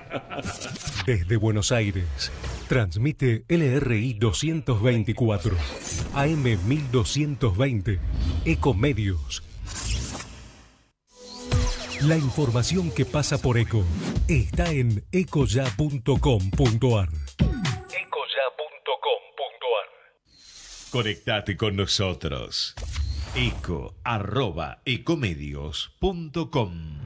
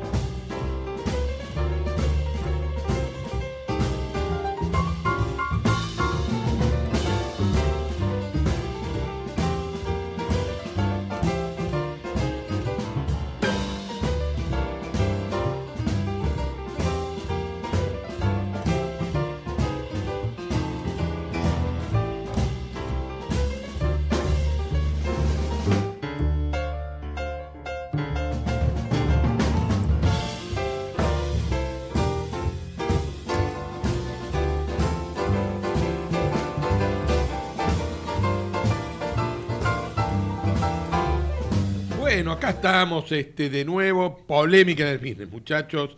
Estamos con don Guillermo Nervi, estamos con Laura Reckman, estamos habla. con Gustavo Nogués, estamos con este, el querido Mingo Esperanza y el que algún día se presentará, que soy yo, Alejandro Magnani. Listo. No, yo quienes hablan, no es grasa, es grasa. No, por favor, no me hagan decir cosas que me da grasa. No. ¿Yo te puedo hacer una pregunta? ¿Por qué a mí me decís Guillermo, a Domingo le decís Mingo? ¿Por qué no decís Willy? ¿No tenés Este, confianza conmigo? Qué no, vergüenza. no te tengo miedo. Vos te imponés una, una cosa. Miren, que streaming, lo que tiene streaming, miren, es una cabeza blanca nibia, es un tipo y miden 2 metros 10. No, no, no quiero lío. no. Muchos años de pilar, no podemos, viste, una cosa. Bueno, vamos a decirle, Will, estamos en problemas. Se habló una interna, no pensé gracias. que sería al aire. Esto parece un programa de, de yo, Jorge soy Do- Real. yo soy Domingo José, discúlpame. Sí, sí, vos sos Domingo José, por favor. Contá, Mingo, contá. Domingo. Contá, Bueno, Mingo, el porqué de la Borbón. Domingo José, oíme, ¿y qué pasa con el, con el, con el, por qué se va la, la, la, la Burgón de ahí? A ver qué pasa. No, en realidad el Hotel Alvear está anunci- están anunciando que se va a cerrar por reformas, etcétera, etcétera, en breve. Están terminando de refaccionar la familia Sutton el Hotel Plaza, que también lo compraron, además de tener otros dos alveares. Claro, se han mandado una cosa. Tiene una cosa muy, grande. potente. Todo vendiendo perfume Colbert. Le digo muy, muy, muy, muy, muy interesante el tema. Pero la verdad es que hay un rumor muy cierto y es que es muy probable que se, se esté vendiendo el hotel. Se estén desprendiendo del hotel. O por lo menos de alguno, porque digo, es demasiada cosa. De para ese una hotel familia, no es la cadena Mario en el mundo, ¿eh? no, son, Lo son que- argentinos, son capitales de ellos. 100%, este, 100% de ellos. y, ellos caramba. están todos los días allí, está la familia ahí, controlan eso, lo cuidan. Hasta, hasta la mujer de, de David va y ve que los arreglos florales de todos los lugares estén bien puestos y en el lugar que corresponde. Perdón, y se nota. Pero claro que se nota. Porque vos vas a la RT y es lo mismo, donde entras está, no, no hay una pelusa en una alfombra. es No, decir, está perfecto. Y además de estar perfecto, en cualquier persona que haya ido, hoy dicen que está un poco caído el servicio en los cuartos, pero es uno de los pocos hoteles del mundo que sigue conservando ¿El Plaza o el Alvear? el alvear. El plaza está cerrado, está en reforma. Sí, el Plaza yo lo el Alvear Pero el alvear, ballet. bueno, exacto, sigue conservando el butler. Yo Vos en tu habitación tenés una persona Alvear. que desarma tu valija, la cuelga a tu ropa y cuando te vas vuelve a armar tu valija. Podés optar por que no lo haga. Perdón, y jamás te va a preguntar, perdón señor, ¿para qué es este corpiño? ¿Para qué trajo este corpiño? O este- o este látigo. claro. O este látigo. ante todo. Exactamente, No, este látigo. para puede que ser que si seas un viajero cuero- frecuente te diga, hoy no trajo el látigo azul. La gorra de cuero y el pantalón del mismo. de- de- ¿No lo trajo esta vez? Está cerrado África, señor, ¿para qué lo trajo? Sí, sí, Te digo que qué felicidad, no tanto cuando llegás, sino cuando te vas. ¿eh? Que alguien te haga la valija. Qué gran Sí, felicidad. totalmente. Ese- Bueno, yo tengo, tengo un un ballet que se llama Diana. Qué desgraciado. Es un Qué gran desgra- tema que siempre, Sí. siempre No, me sí. comentan los comercios o de, de distintos servicios donde el dueño atiende y cuando generan la sucursal y qué pasa cuando un empleado contratado va a atender. El gran miedo a que decaiga esa calidez, esa atención en el detalle. Tenés que tomar un venezolano, un colombiano, algunos de los muchachos que están con ganas de laburar, Sí, señor. que te atienden como príncipe. Sí, señor. Sí. Yo fui el otro sí. día a importante empresa este, de telefonía celular y, este, y fue una atención, digo, perdóneme, porque no- además tampoco tenía mucha, mucha tonada, ¿no? Entonces terminó explicándome que era un venezolano que hace ocho años que vive acá, entonces la tiene media lisadita la tonada, no terminaba de pescarla. Y vos decís, bueno, está bien, es, la- es actitudinal, Gustavo, ¿no? Hay que Sí, sacarse la cabeza. Entonces, es algo que... eh, En nosotros- cualquier rubro igual, en cualquier Sí. puesto son más serviciales, más educados. En todos, eh, eh, el- la red de contactos sociales que uno tiene, cuando estábamos hablando, íbamos a abrir la segunda sucursal, todos decían, sí, pero vas a ver cómo va a decaer la atención, no es lo mismo que la atienden ustedes en, en directo, que un empleado. Empleado, dijiste vos. ¿En qué estás pensando?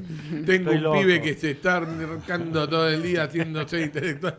No, y el gran temor, al- ¿cómo va a manejar el efectivo, la- el producto? Bueno, ¿Pero va a haber temores. empleado o no va a haber empleado? Va a haber empleado. No, va- no a estar este, la patrona en un, en un local y el patrón en otro. Vamos a estar girando y supervisando. O sea, no van a estar en ninguno. Uy, se va todo. Se hamburguesaron, se No, hamburguesaron. se hamburguesaron. Se Perdón, entre todo. la yoguineta rosa con pedazos de No, yo incrustación eso no lo vi, yo no lo vi. No, yo no lo vi, no lo para vi, no lo vi. pernoctar en el loft. No, no lo vi. Todavía no lo vi, me no duelen los No. ojos. Todavía me duelen los Y ojos. encima te clava el pase de Staying Alive.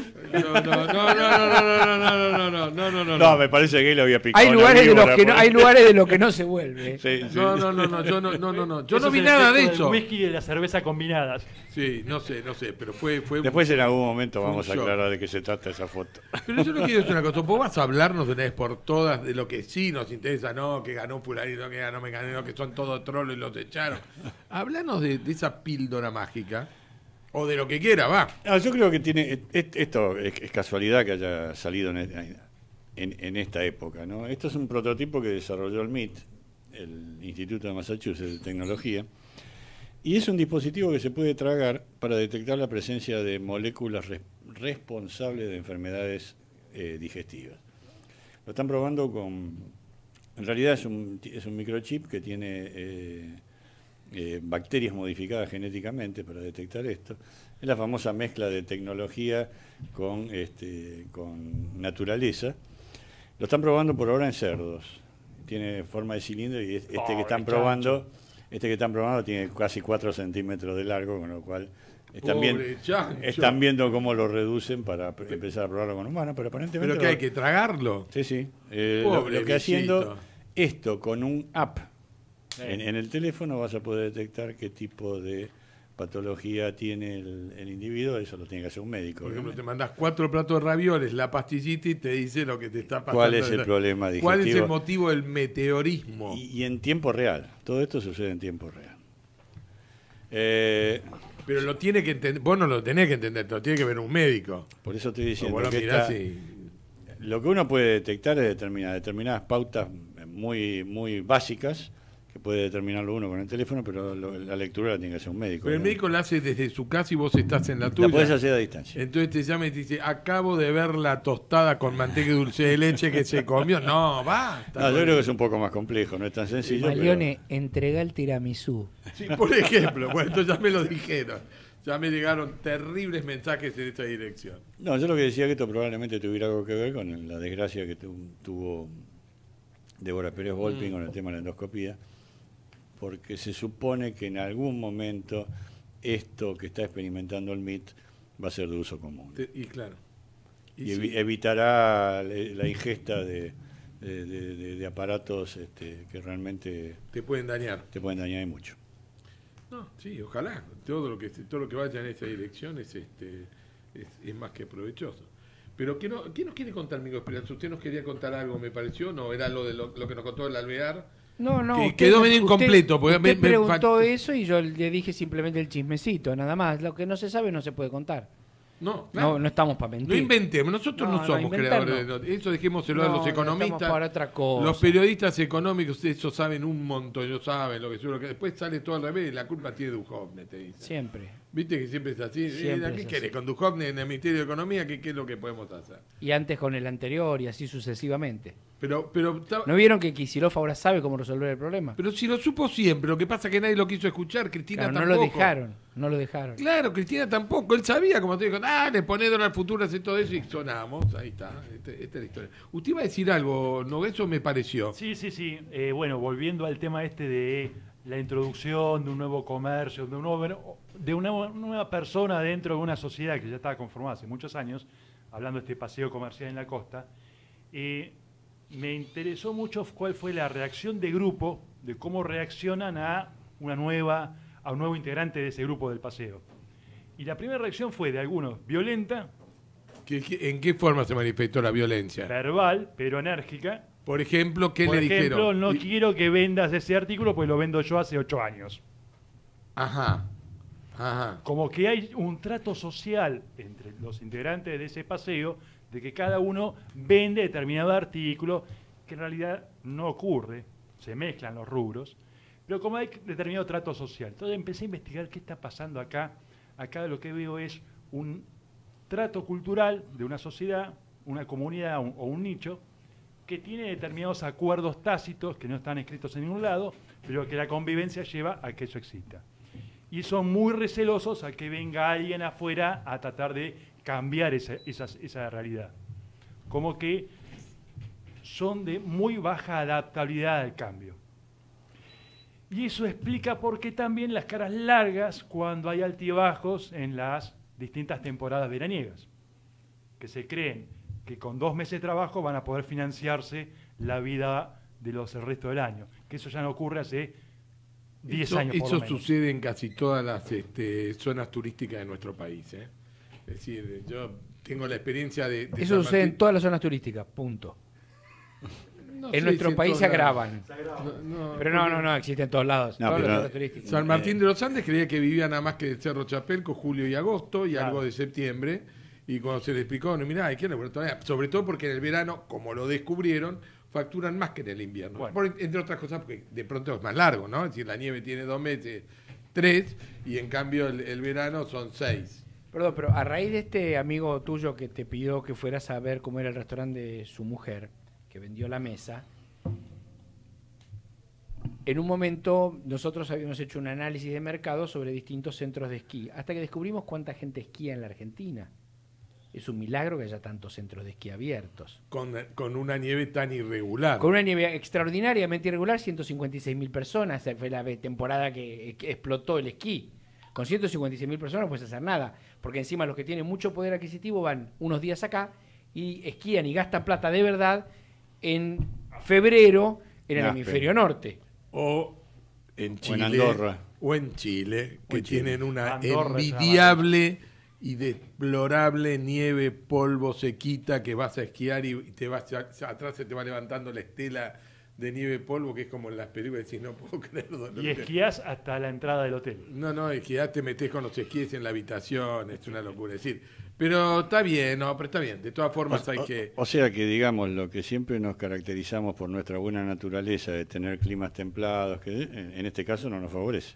En este caso, no, porque además hay una cosa, eh, nuestra cordillera, a pesar de que está arbolada, hay, mucha, hay mucho bosque y demás, comparada con, con la, con la chilena es una cordillera seca, porque toda la, la humedad... Viene del mar. Viene del mar del Pacífico, Exacto. se para en la cordillera, entonces nosotros es el cachito que logra morder, pasar del otro lado y precipitarse No, como pero además, nieve. Alejandro, hay otro punto muy básico.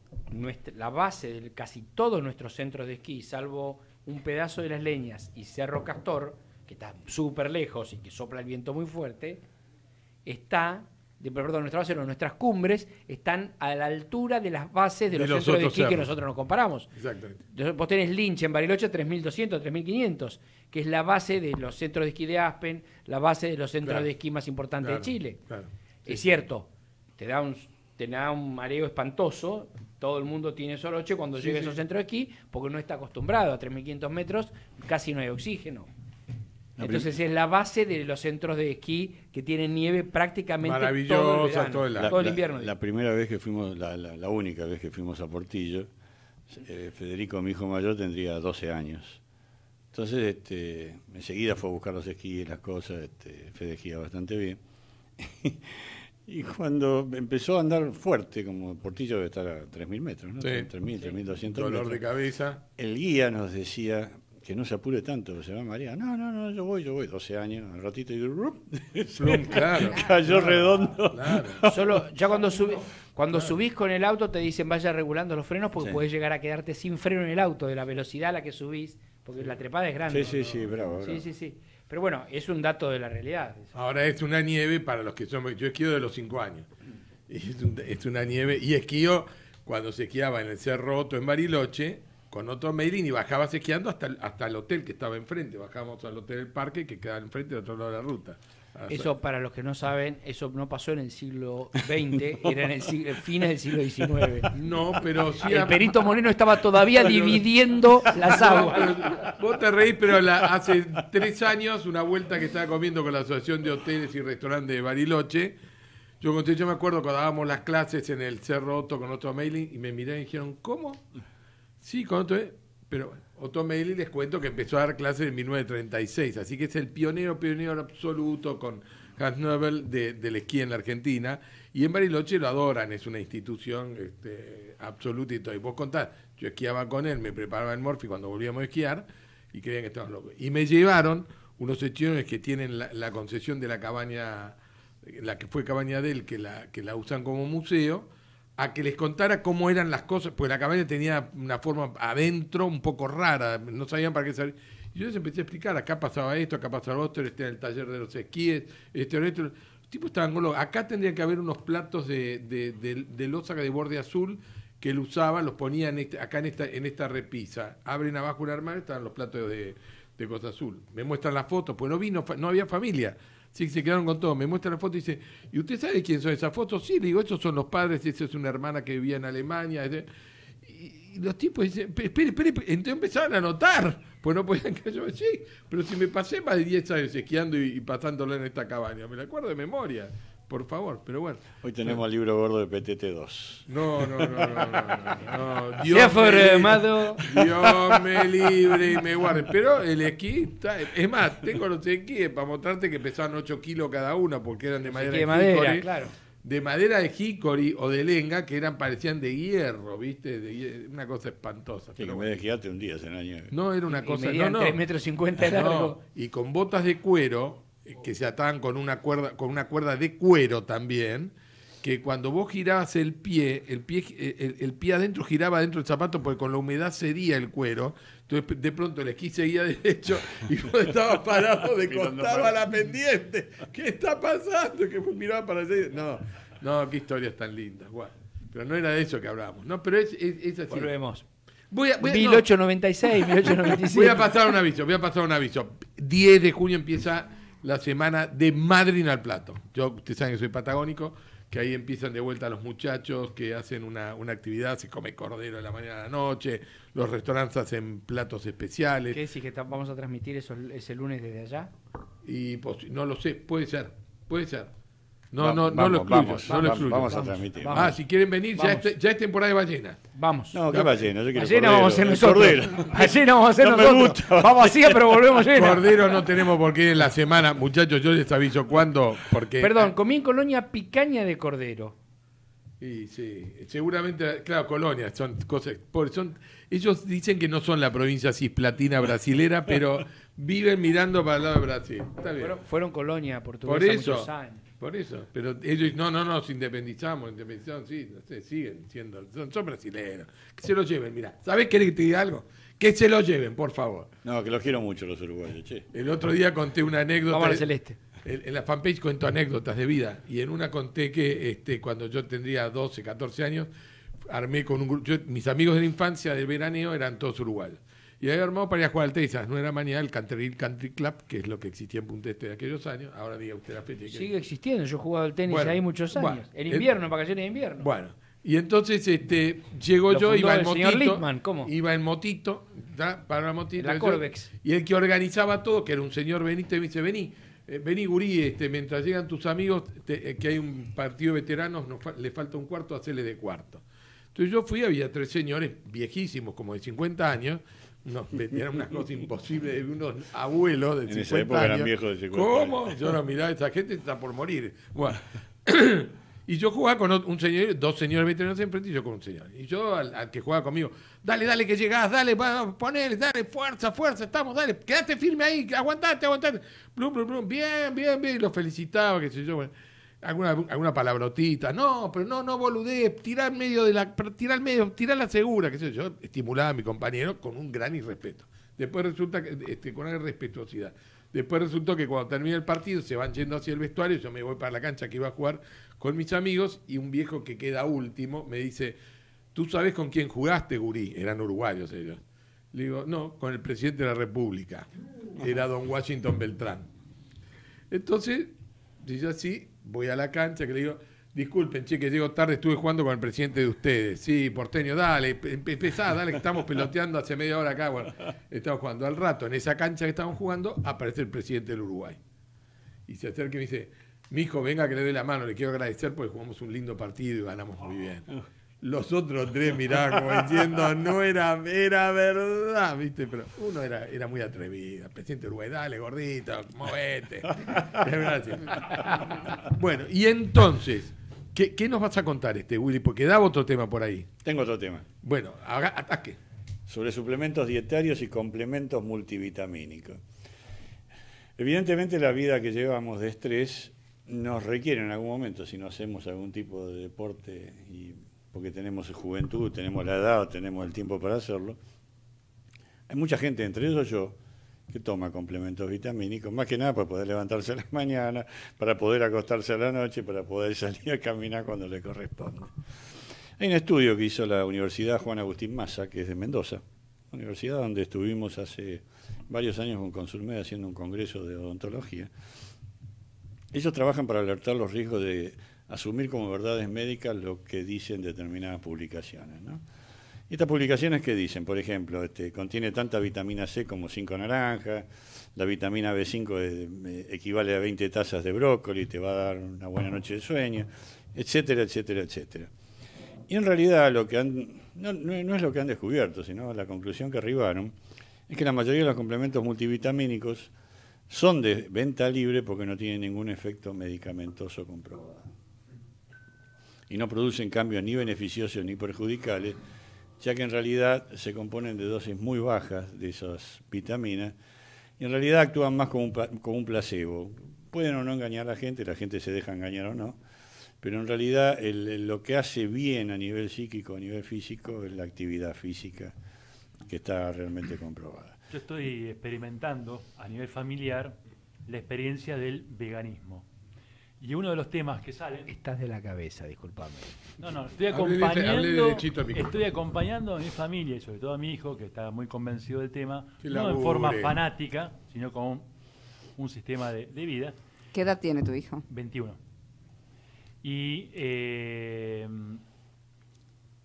salió como tema el tema de la vitamina B12.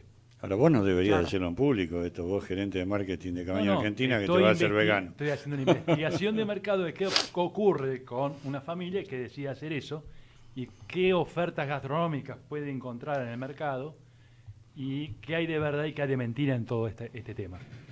Este, y, y el gran tema es que hay pocos nutricionistas que se han formado, se han especializado en la vida vegetariana, en la vida vegana o en simplemente un omnívoro como es el ser humano por naturaleza ¿Y cuál es el balance que hay que tener en, en las comidas cotidianas para tener una dieta balanceada? Hay mucho desconocimiento y, como decías vos, muchas publicaciones comerciales que te venden. Esto es lo que vos necesitas hoy, pero en realidad no hay mucho basamento científico que diga que eso es así, o qué es lo que realmente esa droga realmente hace en el, en el- en el organismo. Ah, yo creo que el estilo vegano este, o mm, el hecho de no comer carne, creo que no es solamente eso, sino que es un estilo de vida, ¿no? Que está, Totalmente. que no, no, no creo que sea un cambio simplemente de alimentación, sino que No. adopta un estilo de vida distinto. Yo tengo un par de conocidos, este, vegetarianos uno y otros veganos. Y los veganos eh, me, me parece que a veces llegan a un extremo muy grande en el sentido de que no tocar ningún este, este, Vos no podés servir en, este, comida vegana en un plato que haya tenido carne. Exactamente. Bueno, me- ha pasado, me ha pasado con la hermana de un conocido. Yo estaba haciendo un asado y sabía que ella era, yo pensé que era vegetariana, no vegana. Entonces yo hago, cuando suelo hacer los asados, ustedes lo han sufrido, yo hago este, mm, eh, vegetales a la parrilla. Y obviamente uso la misma pinza que uso la carne para los vegetales. Lógico. Oh, me pusieron el grito Es un en tema el cielo. ideológico. Sí, sí, absolutamente. Tuve que cambiar. tu- ese día tuve que lavar Que ojo, dos tiene a, veces, pinzas. tiene a veces su fundamento en el tema, en el, en el concepto de que existe el sufrimiento animal, el estrés animal, en, eh, en las actividades intensivas creadas por el, por el ser humano en forma artificial.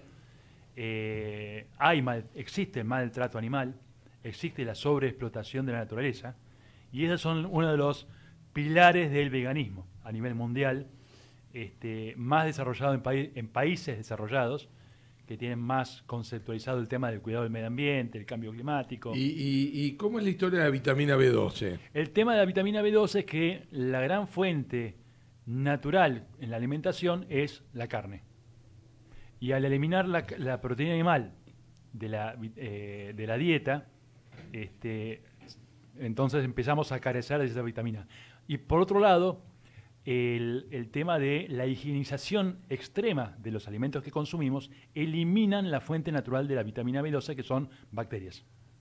Entonces, no solamente los vegetarianos y los veganos están carentes de vitamina B12 en su dieta habitual, sino también los omnívoros, y no lo saben.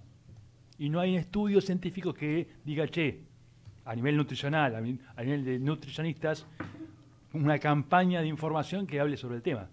Y la falta de vitamina B12 afecta mucho la salud humana. Por eso habría que tomar complementos que dicen acá que no sirven para nada completo. Ese es un drama, porque también te dicen que si tomas muchas vitaminas, el organismo se acostumbra y no las procesa. Es Sí, o la- en realidad la, digamos, la forma de sintetizarla del hígado termina siendo per- nociva porque le estás poniendo más vitaminas de las que necesitas.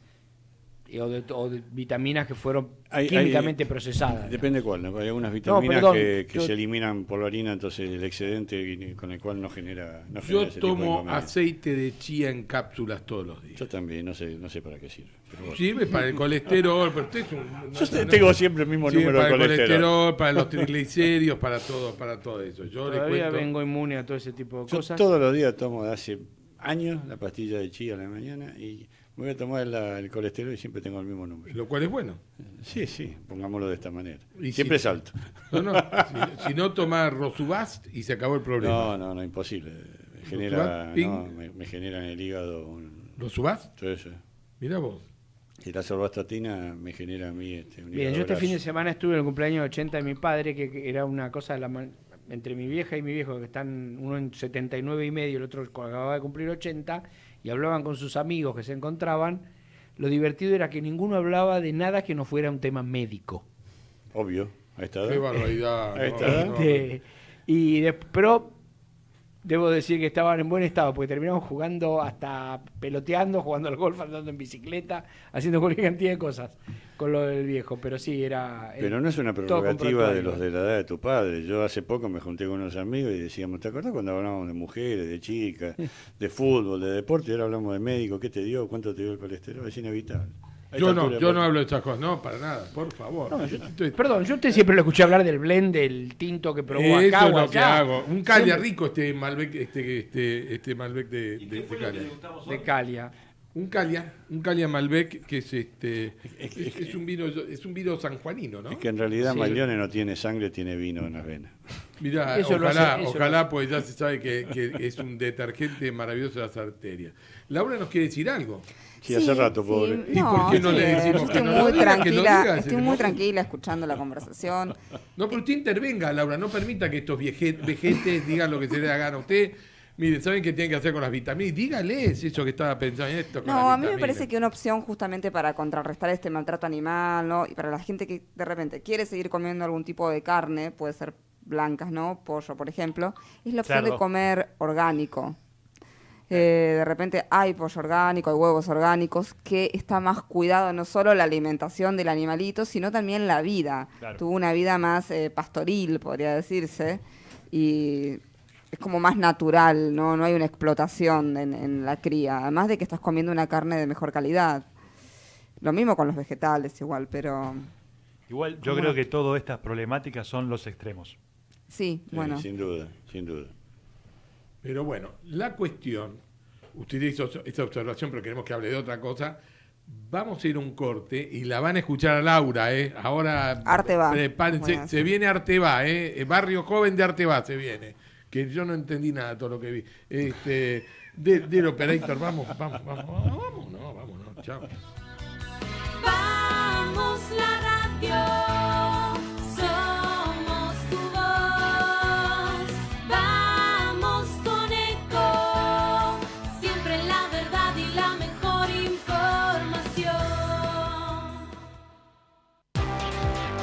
Ay, pero qué tarde, ¿qué se me hizo? Me tengo que apurar porque si no, no llego, no llego, no llego. No, pero seguro, ¿qué problema? Eh, bueno, vamos a encontrar una solución. Bancame ahí que en dos minutos estoy con vos. Bueno, vos ahora te tenés que ir. Sí, pero yo quiero hablar de esto ahora. Cuando llegue a casa te llamo.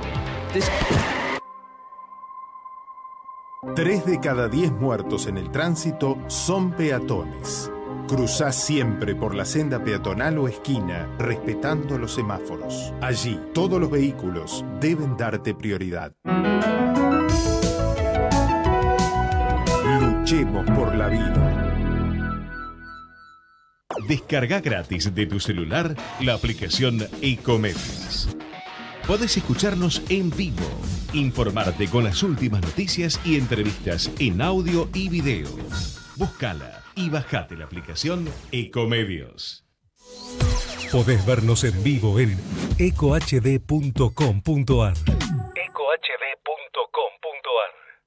Conectate con nosotros. Twitter arroba Ecomedios 1220.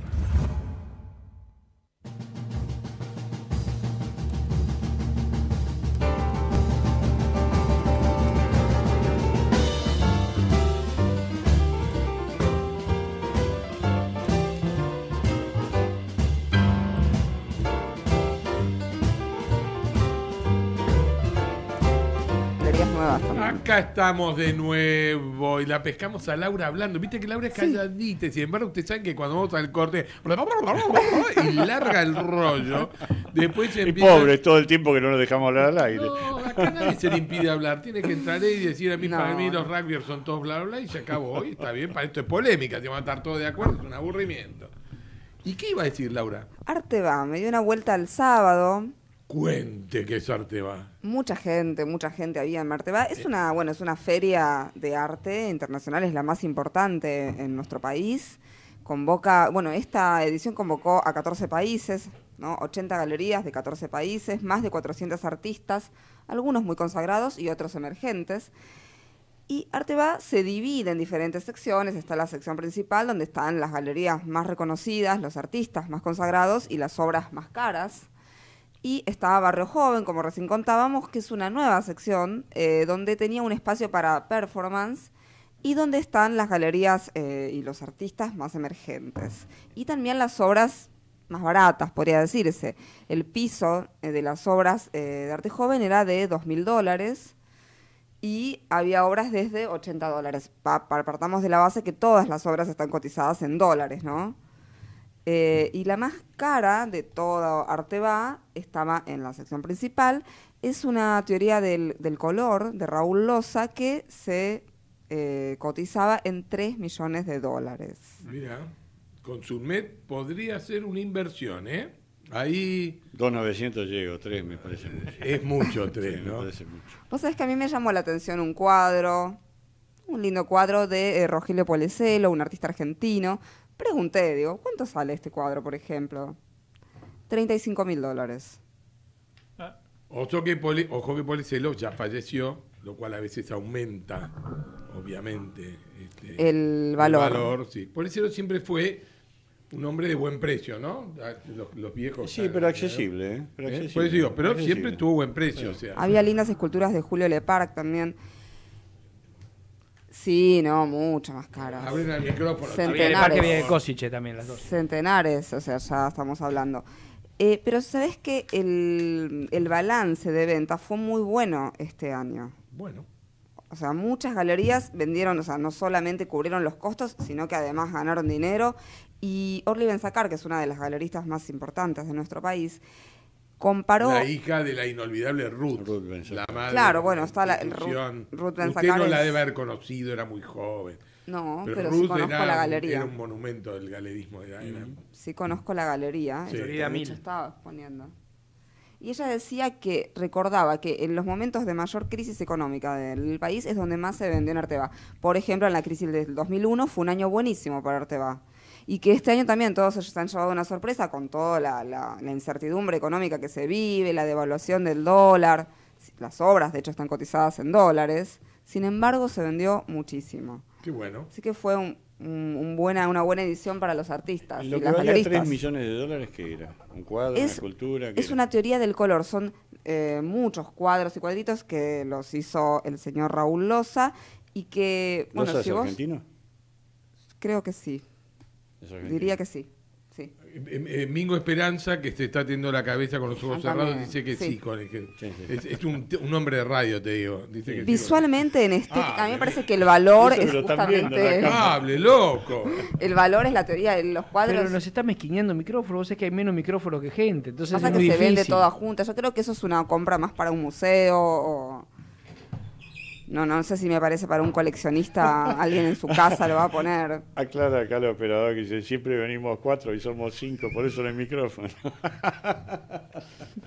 Y otro gran protagonista de. También había varias cosas que me parecieron interesantes de Tomás eh, Saraceno, que hace un tiempo eh, Claudio mencionó que él hizo un laberinto cósmico tejido como por 7.000 arañas Sí. en el Museo de Arte Moderno. Tuve pesadillas ese día. Fuiste a verlo, ya no está más, terminó en marzo. No, no, no- es posible verlo más, pero sí, ni bien entrabas, había una esfera colgando hecha por él. Después, en otra de las puertas que entrabas, también había unas esculturas eh, de, de su, hechas por él también así, de su autoría. Así que me parece que, que también le dieron protagonismo a este artista, que es un artista también muy contemporáneo. Es un, ¿Se sabe en Argentina cuál es, qué porcentaje de la población consume arte? no lo es de sé ir a... qué porcentaje consume. Sí, fue muchísima ¿Cuál es la gente a visitar a la eh, feria. Cuidado, que el arte La es pregunta un es refugio que de valor Claro. y no todo el mundo está denunci- no todo el mundo denuncia comprar. No digo, pero qué, a ver, ¿qué público asiste a Yo- ver? Yo, yo le voy a contar algo. Hay un rumor jamás comprobado que en una etapa de la democracia que no fue justicialista, había un secretario de Hacienda que los favores que dispensaba, por ahí ayudaba a, a- a alguna empresa que yo, él indicaba, hay un remate en Roldán y sale tal cuadro este, de Fader que me interesa. Y no decía más nada. Y terminaba el remate y aparecía el cuadro en la casa del señor. Del señor no se sabe qué galería, qué, qué patrimonio artístico tiene. Pero. Sí, con el decir, pa- sí que lo no, que no, pasa- no es, no, es, no es transparente, digamos. No es transparente. Nadie por ejemplo, contando. se deben saber cuántas entradas a los teatros se venden. Sí, No, sí, fines en cantidad puedes de sí saber lo que feria, sí. lo de arte va sí se sabe es verdad. Es como la feria del libro vos vas y ves la familia tipo 25 26 años de edad con cochecito paseando en arte. Va y yo me maravillo. Estas son las cosas de mí que de los argentinos este, y porteños me maravilla ¿viste? es decir arte va que eh, van los muchachos y paran y hablan con el artista el artista tiene que estar por supuesto muy prolijamente desalineado, tiene que tener una barba tipo Martín de Estéfano, eh, tiene que tener un pelo tipo Mingo Esperanza. Cuando vienen con esos peinados y esas cosas así, pum, artista. Vos te le vas derecho y hablas. Es una maravilla. Es una maravilla. Algo así como un artesano. Ah, total. Sí. Sí, sí. El look, Es la misma fisionomía. Sí, los antiguos como Polecé, los se, se Están luqueados, están luqueados. Las chicas No. también eh, tienen como. No, no, es, a- no es todo. No es adrede el look. No son como nosotros. Ahora, yo tengo una duda respecto a esto, porque evidentemente son inversiones, son inversiones este, muy rentables a lo largo del tiempo, hay que esperarla. Será. Ahora, mi pregunta es, el cuadro más caro del mundo hasta, hasta que se vendió el de Salvador Mundi y el de Leonardo da Vinci, valía ciento, no, no llegaba a 200 millones de dólares. Una una El vuelto, Salvador vuelto. Mundi de, Un vuelto. de- de Leonardo creo que se Sí. vendió en 415 millones de dólares. Y no estaban definitivamente seguros de que fuera de Leonardo. Pero no importa. Así Dale, todo, vamos para adelante. duplicó el precio del cuadro más claro del mundo. Esto quiere decir que hay una hay, hay una, un, un avance, le pregunto a Mingo que se... No, bueno, pasa lo mismo con las propiedades, pasa con pasa lo mismo con la mayor cantidad de los de, de- de activos que se transan en el mundo. En realidad hay varias cosas. El principal punto es que el dólar vale menos, porque como hay inflación también en el país del norte, no Acá no, tanta como acá- la acá nuestra, no, acá no pero vale hay menos. inflación, quiere decir que se deprecia por lo menos un 3, un 2,5, 3% anual la moneda. No es, que, no es que seamos todos más ricos en dólares, sino que el dólar vale un poquito menos. Eso es un punto. El otro punto es, el mercado del arte crece, crece por modas, crece despacito, y hay un mundo del, si querés, más oscuro, que no se transacciona tan transparentemente. El mercado argentino es completamente ilíquido, no es un mercado que se tra- transaccione mucho. Sobre todo los artistas más consagrados argentinos no son artistas que, se, que se, rápidamente se pueda hacer dinero, no crece mucho el valor. Sí hay un segmento muy específico de la nueva figuración de la década del 60, cuatro a cinco artistas y algún artista más contemporáneo que tiene mucho valor y que cotiza muy bien porque en los mercados internacionales cotizaron bien. Un Juan Lascano, por ejemplo. No, Cuitca o ese tipo de cosas, digamos. Pero si no, o este muchacho, pero Tomás Arceno. Le Parc, Le Parc cotiza. está bien, de Parco o algunos. Pero, mira, en el, el tel- pero, en el pero arte- si no, no, no, digamos, Bernie, por ejemplo, no cotiza mucho. No, no es un artista. No cotiza, pintó mucho además. Con lo cual Sí. los artistas que pintaron mucho Y cotizan pintó menos. variado, Y ¿no? pintó Porque variado. pintó cosas que Pero no- digo, no digo una- este, este tipo de cosas pasan y sin embargo van subiendo de a poquito sus valores. Además, Pero Bernie era comunista. ¿Viste esa cosa que no tiene nada que ver con... y además era comunista. Está bien. Y era comunista. Sí, ¿Y qué le pasa? Un rato. ¿Y viste alguna performance? ¿Te quedaste a ver algo de lo que se hacía? Yo justo cuando fui había unos chicos eh, rapeando, ¿viste? Es como muy, eh, ¿cómo se dice? Pelea de gallos. Yo confieso que a mí me, me aturde un poquitito el bullicio de la gente. No, estaba muy alto el volumen. Por eso, a mí Estaba me aturde un alto. poquitito, entonces circulo, veo esas figuras, esas cosas. A mí me, di- Gente- me divierte mucho la necesidad imperiosa que tienen todos de que el otro lo vea. Ah, voy sí. un rato Ah, y sí, me, vean. están Sí, todos sí, muy sí. histéricos. Cuando veo que me empiezo a contagiar me voy. Sí, sí, sí, Pero es sí. muy impresionante. El miércoles pasó esto, digamos. Los que no van a ver, los que no van a ver la obra, van a No, mostrarse. van a ver, van a ver si lo ven. No, Claro. no, sí, sí, es una cosa. Van a mostrarse. Es una, es una cosa tremenda. Pero yo me acuerdo, eh, este, tuve la, la oportunidad de pintar un cuadro con, este, con Tatato Benedict, este, que, que fue todo muy gracioso porque era beneficio de la sala de, de SIDA del Hospital Muñiz y qué sé yo. Entonces un grupo de empresarios, hace 30, 25 años atrás, resolvieron que eligiéramos un pintor y pintáramos algo juntos. Bueno, y yo lo elegí a Tatato, pues era compañero mío en el Ford Club. Y Tatato me contó algo muy interesante, que fue este, que había una amiga de él en el año 56, 57, que tenía eh, este, un supuesto Renoir. Entonces viaja, desarma el cuadro, lo lleva a, a New York para que un señor se lo tase. Y el señor, este, y el señor que lo tasaba lo mira y le dice, este, bueno, este, su, su cuadro no, no es exactamente lo que vale, pero estamos hablando del año 56, 57, ¿no? Yo se lo voy a pagar 10 mil dólares. Y la mujer le dice, "Mm, mire, me perdona, a mí dijeron que el cuadro valía más de 50 mil dólares. Sí, su cuadro vale más de 50 mil dólares si yo digo que es un Renoir.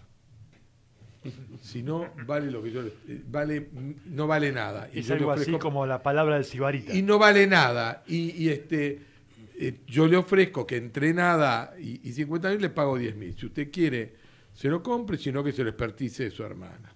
Y así fue. Dijo, mirá, tuvo que dejar el cuadro. eh, Es decir, y de estas historias todos sabemos que hay mucha, hay mucha historia, ¿viste? Es decir, la del arte es, es- para el que no está en la cosa, es difícil enriquecerse con el arte, es muy difícil.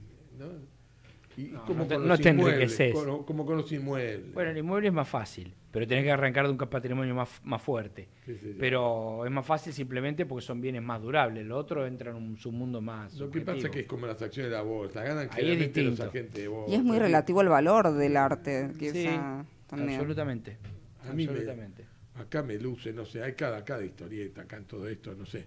Ah, yo creo que hay que tener o una, una, una, una prepaga, este, por ejemplo, odontológica, eso es un negocio 100% rentable, un buen corretaje de inmuebles, que, que es muy rentable. Era en una época. Lo que yo tendría en este momento sería una senaduría o una diputación. Eh, no, está, ¿qué está Eso dando? garpa. Más- más rentable imposible.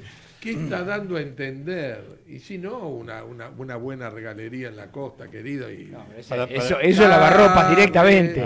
Carretilla. Eso con la carretilla, con la carretilla. Nada justifica irse todos los viernes en Bondi, amontonarse en la ruta, traba- después de haber trabajado de lunes a viernes, trabajar viernes, sábado y domingo, Sí. por calzarse yoguineta rosa bajo Sí. la, helada. de frío. Bajo la helada. Con gorro abrir de la lana tipo escarcha. Fernando Meiter. Abrir la escarcha, así, a huevo, para después decir, no, te estamos vendiendo y abrir sucursales. Mira, ¿sabés qué? La verdad, salimos hechos.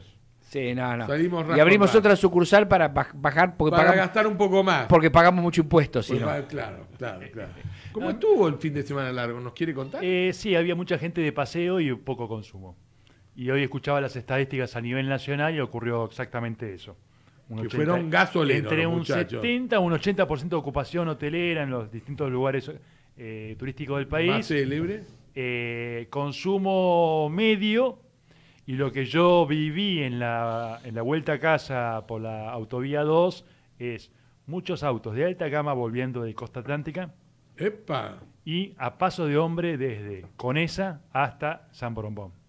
A paso de hombre. Para que. Nada que ver con lo que fue carnaval. Para ¿no? Fue que- un récord No, no. absoluto.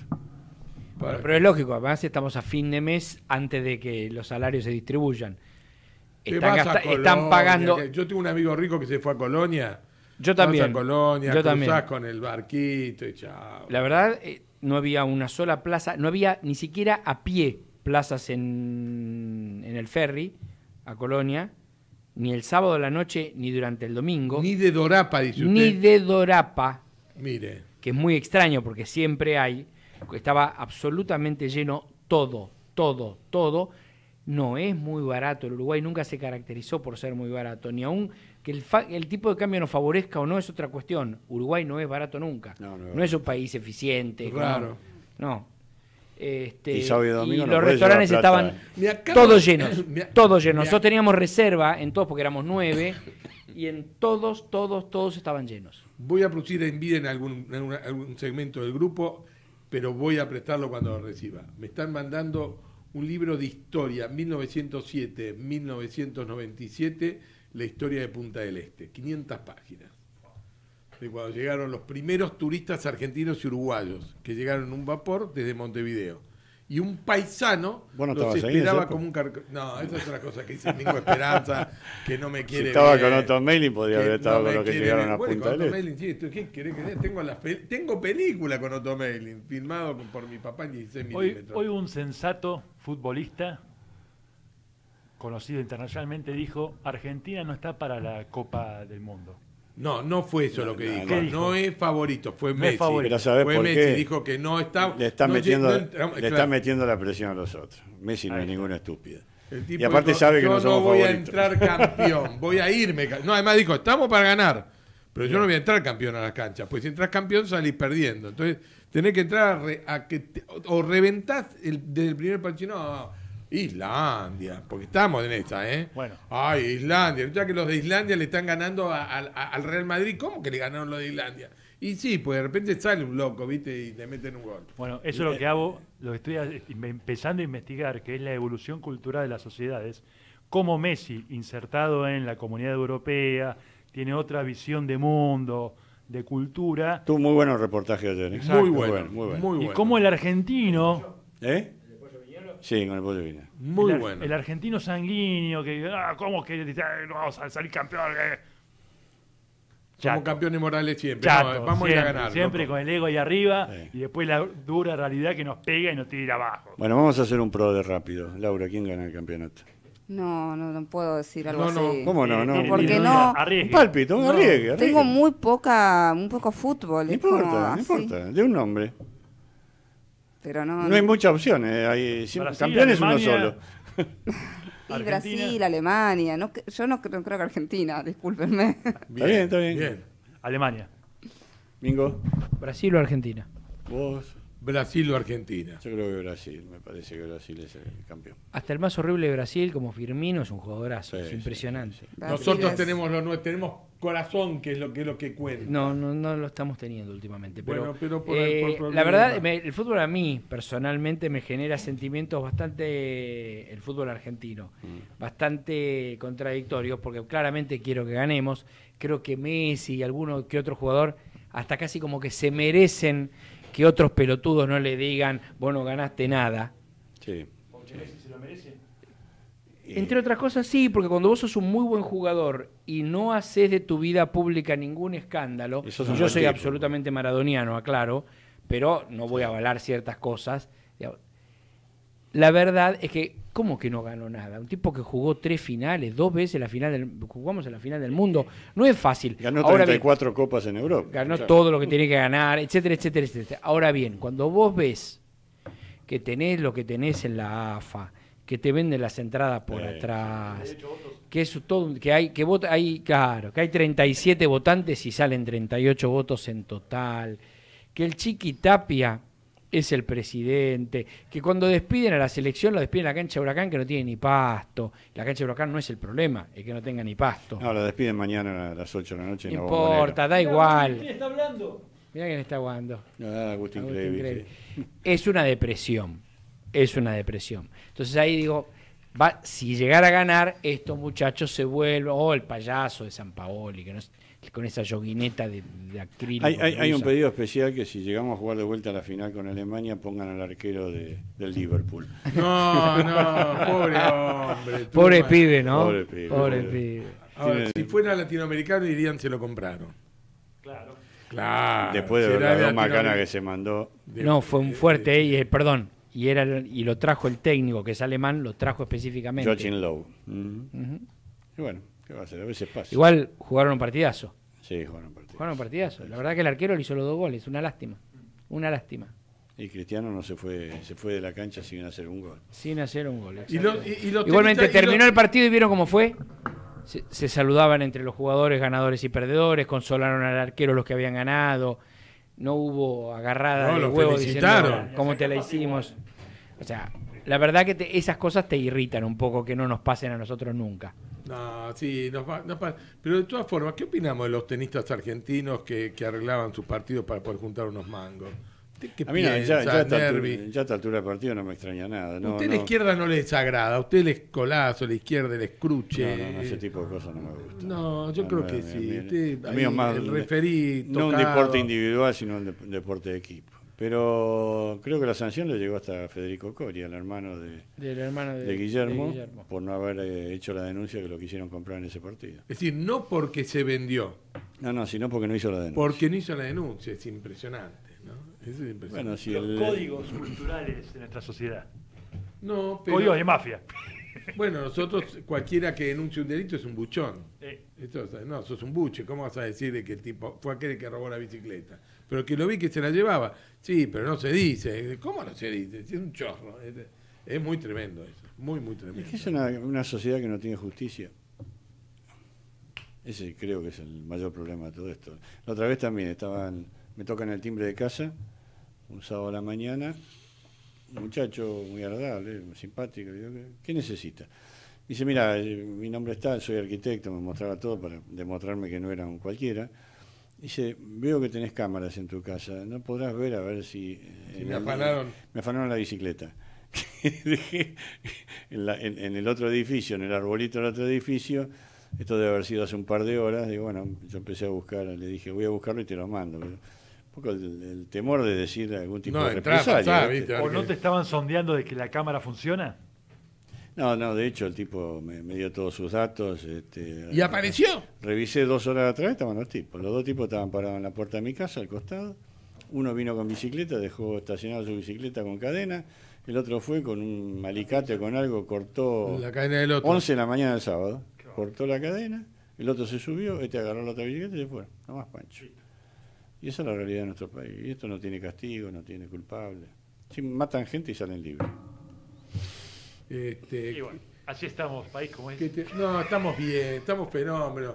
Eh, ¿qué- ¿Qué es el de la tijerita? El productor este Martín de Estefano me hace tijerita. ¿Qué es la tijerita? ¿Qué, qué quiere?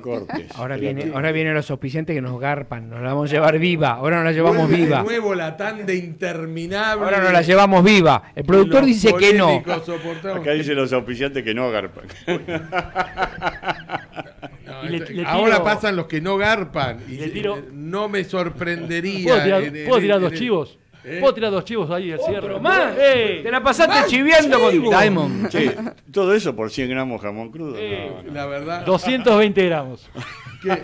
Bueno, está bien, entonces dejale pasar un chivo. Nos pesa lo que nos da y no comió nada. El, el- Dejale pasar un el chivo. operador no ligó nada. ¿Vos comiste? loco. Che, ¿vos comiste? No hay No, jamón, no hubo jamón. no, no No hay chivo.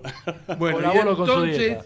Bueno, próximo lunes lanzamos con Claudio de Estefano la trivia mundial con picadas de asortida de cabaña argentina.